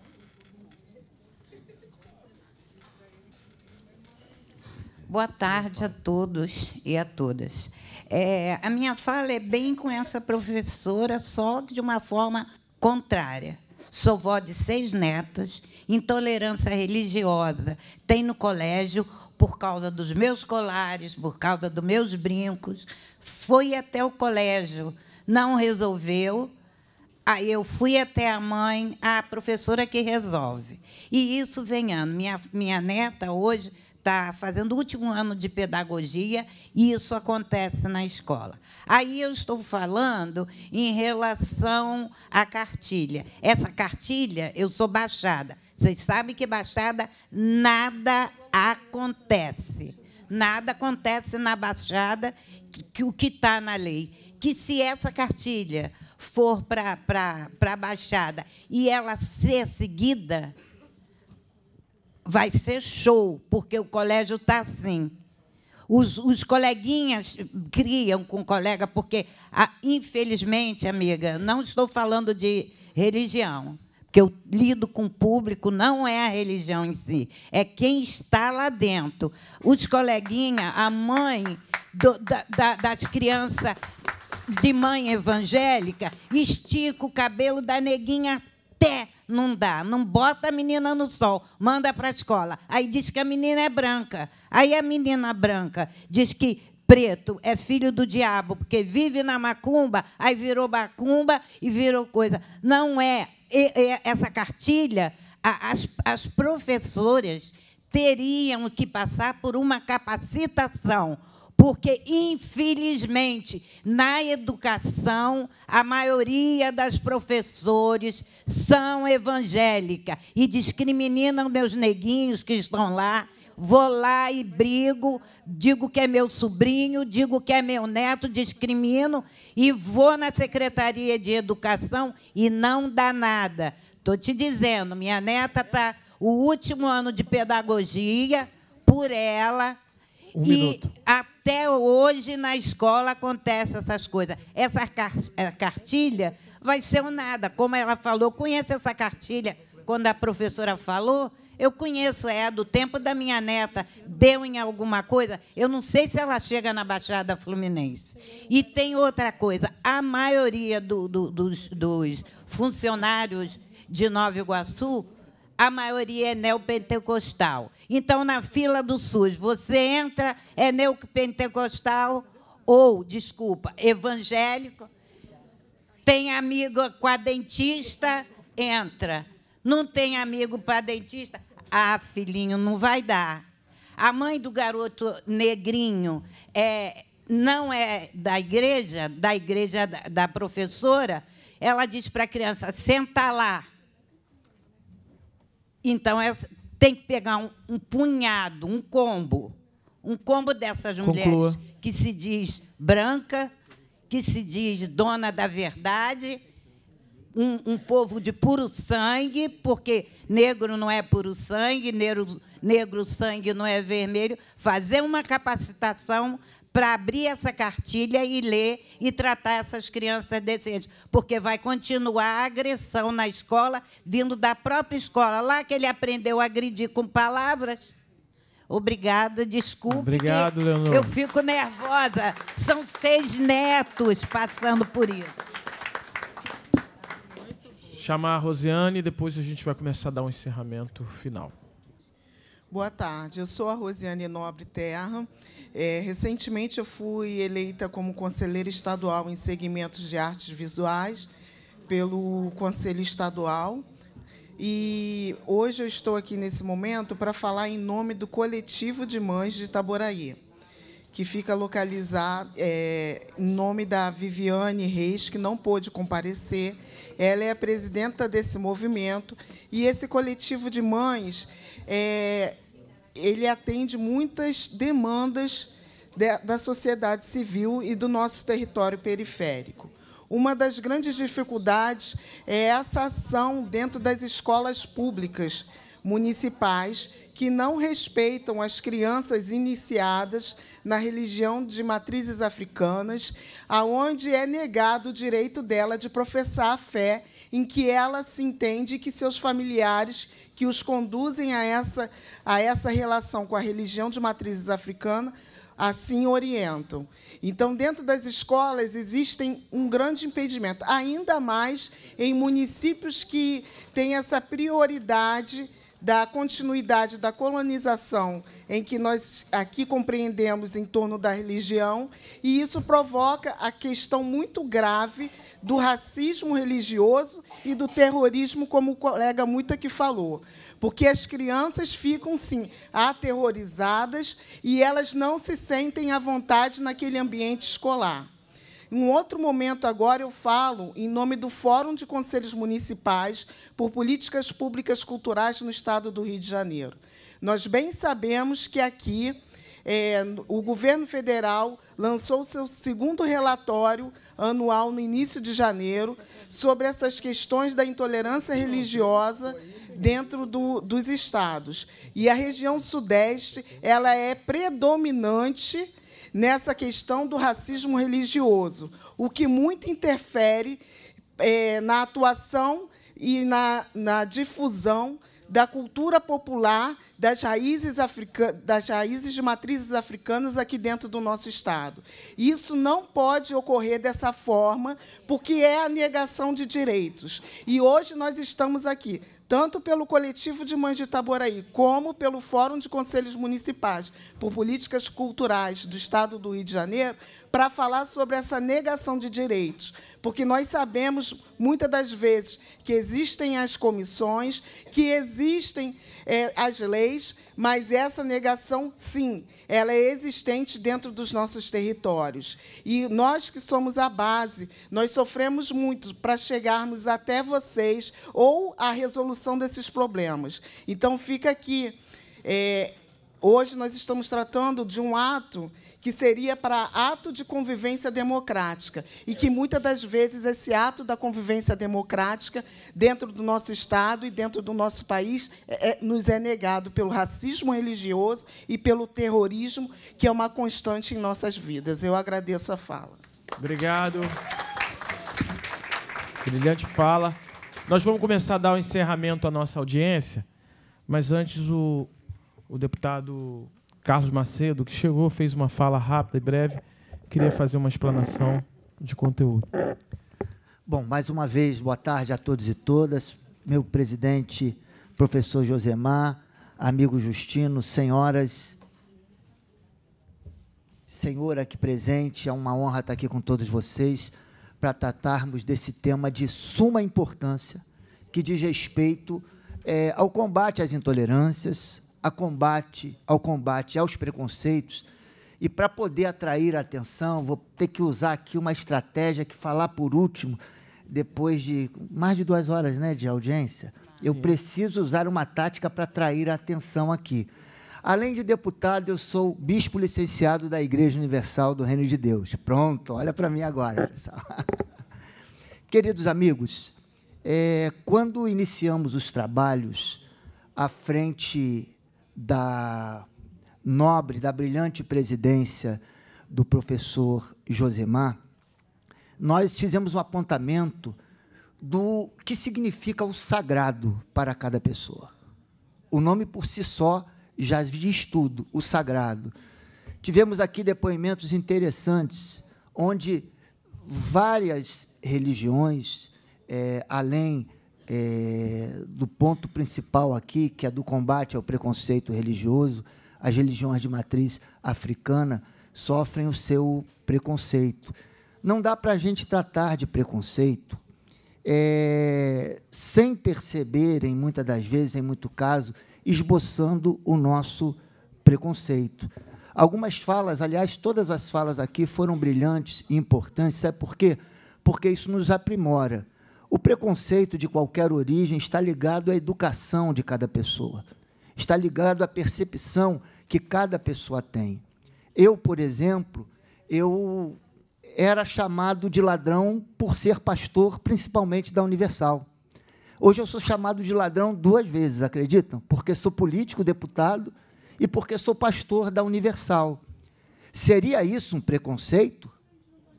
Ou alguém falaria assim: não, não é preconceito, não, eu tenho certeza que vocês são ladrões, como aqui foi colocado.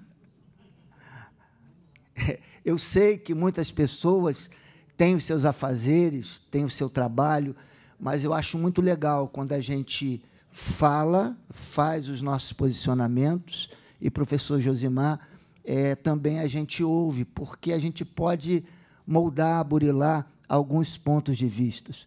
Concordo com a fala do professor que o que nós temos visto ocorrer é, nos terreiros das religiões de matriz africana é um terrorismo, sim. Tocar fogo num, numa casa, numa instituição religiosa, num país laico, mas que você tem a liberdade religiosa garantida pela Constituição Federal. Esses extremismos ou radicalismos. Hoje a gente vive, ou temos vivido uma onda, sobretudo nos últimos tempos, de, de extremismo, de radicalismo, que infelizmente há em todos os segmentos. Há radicalismo por parte de evangélicos, individualmente falando. Há radicalismos por parte de movimentos ou de ativismos que acabam extrapolando na sua manifestação e, ao invés de buscarmos o que essa é, audiência pública se propõe, que é buscar um consenso. Eu vou discordar um pouquinho, o professor usou uma fala ali muito interessante, eu não quero ser tolerado, eu quero ser re respeitado, isso é show. Mas, infelizmente, as leis e a política existe, a elaboração da política existe, para que nós venhamos a nos tolerarmos. Para que nós venhamos a nos tolerarmos. Nem sempre, antes das leis, antes da organização política social, as pessoas se toleravam. Até estou terminando aqui, professor Josemar, lembrando um pouco lá dos gregos que passaram a pensar uma sociedade organizada a partir da subjetividade de cada um de nós, que nós somos um complexo bem próprio de visão de mundo, de tudo, ainda que graduados, ainda que estudados, etc. A gente tem a nossa cultura familiar, a gente tem a nossa cultura religiosa, e a minha cultura religiosa é muito plural. Eu nasci numa família católica, confessa católica, mas minha mãe era uma chefe de terreiro de Umbanda. E eu era Ogã, que batia atabaque, e às vezes era Ogã é, mão de faca. Não me peça aqui para relembrar todos, porque já tem quase 41 anos que eu me converti ao cristianismo no Evangelho. Sei o que representa o sagrado para cada um. E pode ter a certeza que nós estamos aqui, nesta comissão e nessa audiência pública, muito debruçado realmente no combate, mas não se combate intolerância religiosa com intolerância, não se combate preconceito com preconceito. Eu não vejo que jamais, aliás, eu queria só, terminando a minha fala, usar um pseudo-dado bibliográfico, que eu não vou lembrar do, do livro, é um livro de, de mitologia que diz o seguinte: quem em pleno século XXI cultua um dos deuses olimpianos. O, o escritor abre, ou seja, essa cultura, quase que de moda em geral, e se existir, ela se extinguiu ao longo, ao longo do tempo, com predominâncias de outras religiões que durante um tempo predominaram e acabaram também. O que eu queria dizer é que a Umbanda, a Quimbanda, o Candomblé, ou qualquer linha de matriz africana, ela é religião de preto e de branco. Basta a pessoa querer aderir o cristianismo é religião de preto e de branco. O islamismo é religião de preto e de branco. Nós não podemos criar um apartheid no nosso país. Nós não podemos, de forma nenhuma, trazer uma guerra ao extremo, que nós vimos isso acontecer na África do Sul. E, e, Mandela foi o grande ícone para quebrar isso. Todos sabem o que ele sofreu, o tempo de prisão que passou e depois para governar a África do Sul. Não podemos trazer para o Brasil, se discutirmos errado, a história tem que nos, nos nortear. Os exemplos, os episódios fatídicos da sociedade têm que nortear as nossas falas e as nossas ações para realmente combatermos os preconceitos. Eu não quero um Brasil de apartheid.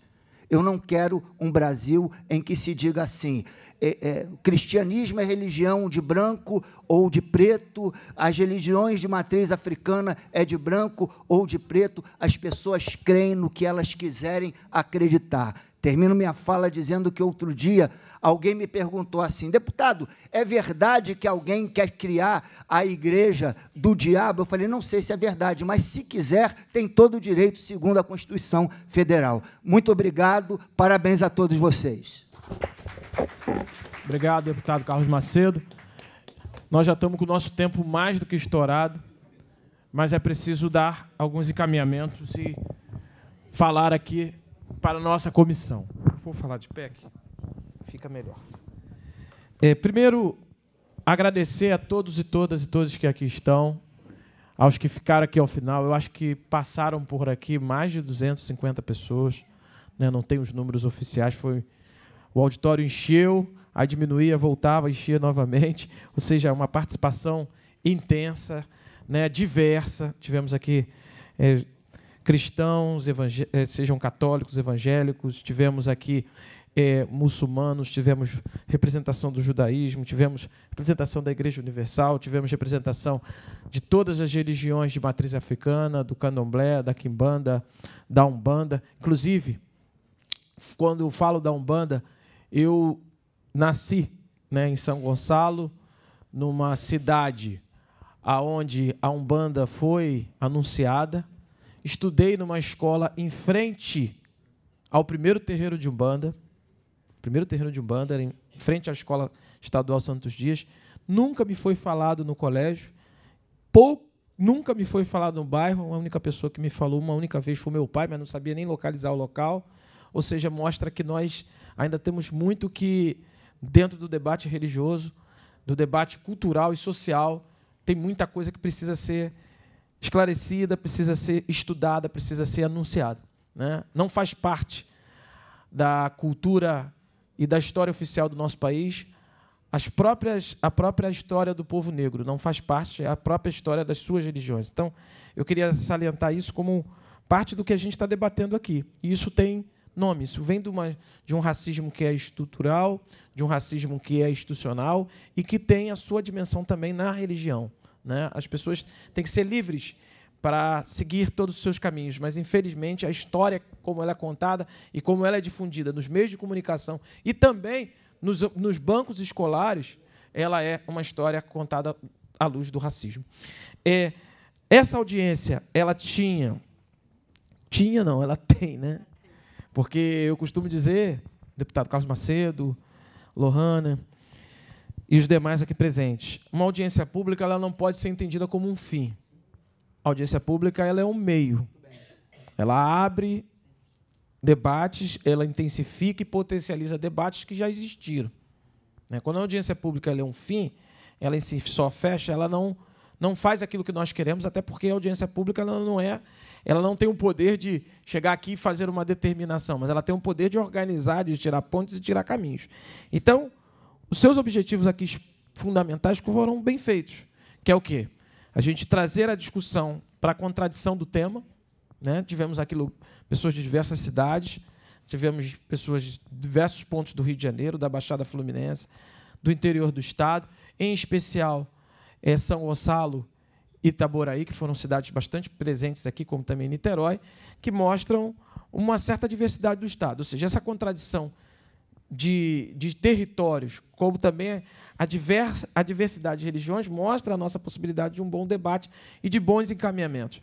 A diversidade também aqui que nós tivemos de representantes dos movimentos sociais. Isso também é importantíssimo. Quando nós aqui dialogamos com diversos representantes de movimentos sociais, dispõe-se que existe uma perspectiva na construção de algo para frente. E tivemos representação institucional, porque a representação institucional ela é a expressão do que é a sociedade. Né? O, você quer estudar uma sociedade no seu tempo, você olha, assim como Foucault já dizia, né, olha lá como que as instituições elas se manifestam. Então, ter aqui representantes da Alerj, e foi um número que nos surpreendeu, tiveram aqui nove deputados e deputadas aqui presentes, teve representações do governo do Estado, de prefeituras, mostra que o diálogo está aberto para que a gente possa construir. Agora, não basta apenas nós termos diálogo, porque o diálogo é, é dialética, né? é pontos diferentes.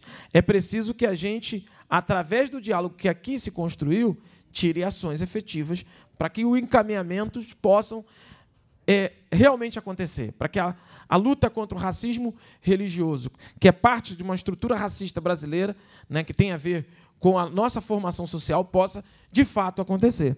E para isso nós vamos aqui tirar alguns encaminhamentos que são que achamos que são ainda iniciais para que a gente possa estar dando sequência.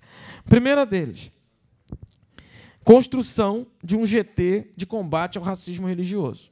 Né? Alguém aqui falou de uma, uma um espaço, acho que foi o doutor Márcio, que falou de um, de um espaço que a gente pudesse ter para chegar, para ter os acolhimentos. Esse vai ser o GT. O GT, inclusive, eu peço que a Zena, que é aqui é minha chefe de gabinete, uma sala de palma para ela, que foi fundamental para organizar essa atividade, é, vai estar tá coletando e organizando essa, esse GT aqui para a gente. A partir desse GT, nós vamos começar a ter novas iniciativas como construção de fóruns permanentes. Aqui na Alerj já existe o Fórum de Mulheres Negras, que é uma iniciativa muito próxima à nossa comissão e a gente ajuda. Né? Então, vai ter outros GTs que a gente vai estar, tá, outros fóruns permanentes para estar tá discutindo isso. É uma política de real combate ao racismo religioso. E aí nós vamos construir com a secretaria e com as secretarias de educação cartilhas que possam estar avançando nessa direção.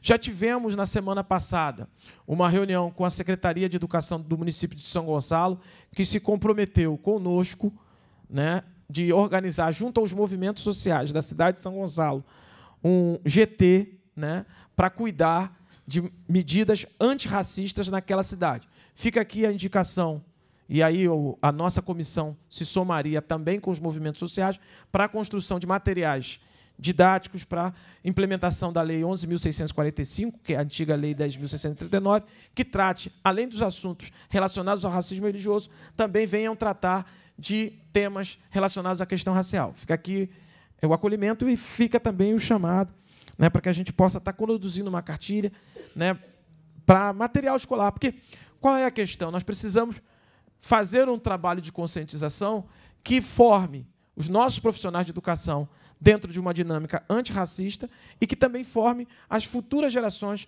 para combater o racismo na sua totalidade. É preciso que a gente avance nessa direção.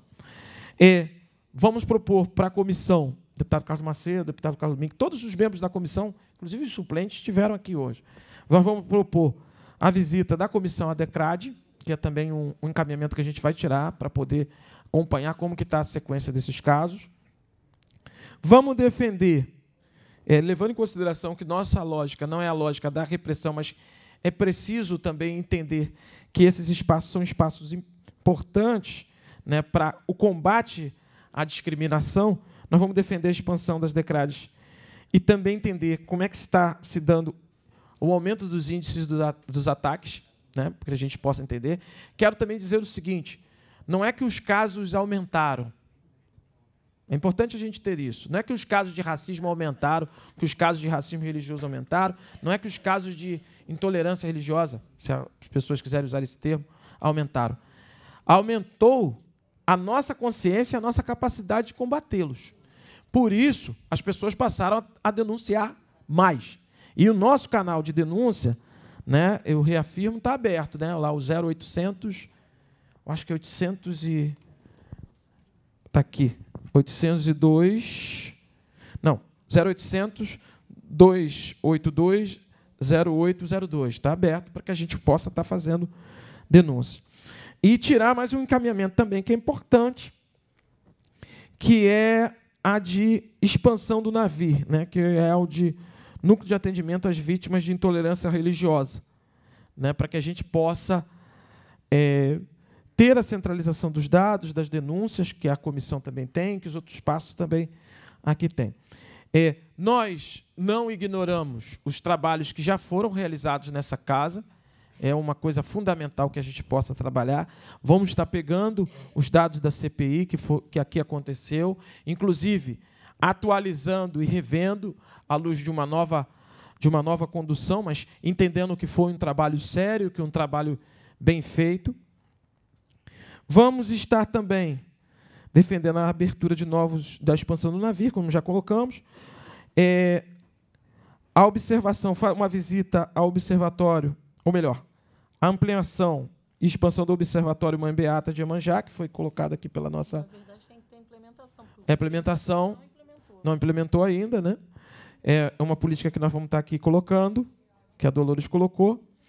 É, campanha de conscientização e construção e apoio, para fechar, de novas audiências públicas realizadas nos territórios.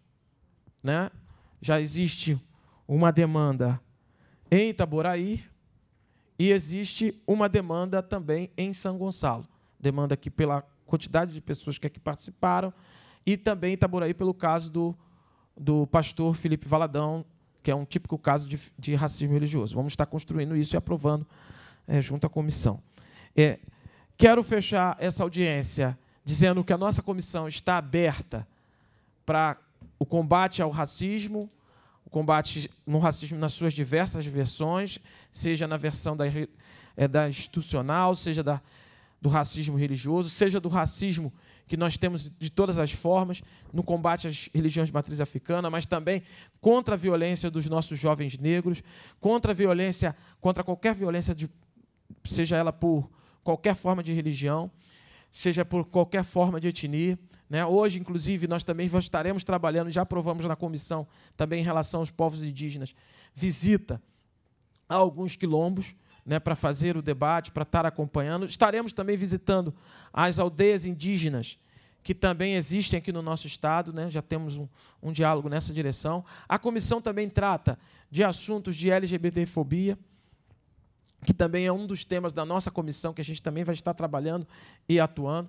Estaremos nessa comissão é, tratando de assuntos, é, de diversos assuntos também de procedência nacional, né, que também é muito importante aqui nos nossos espaços.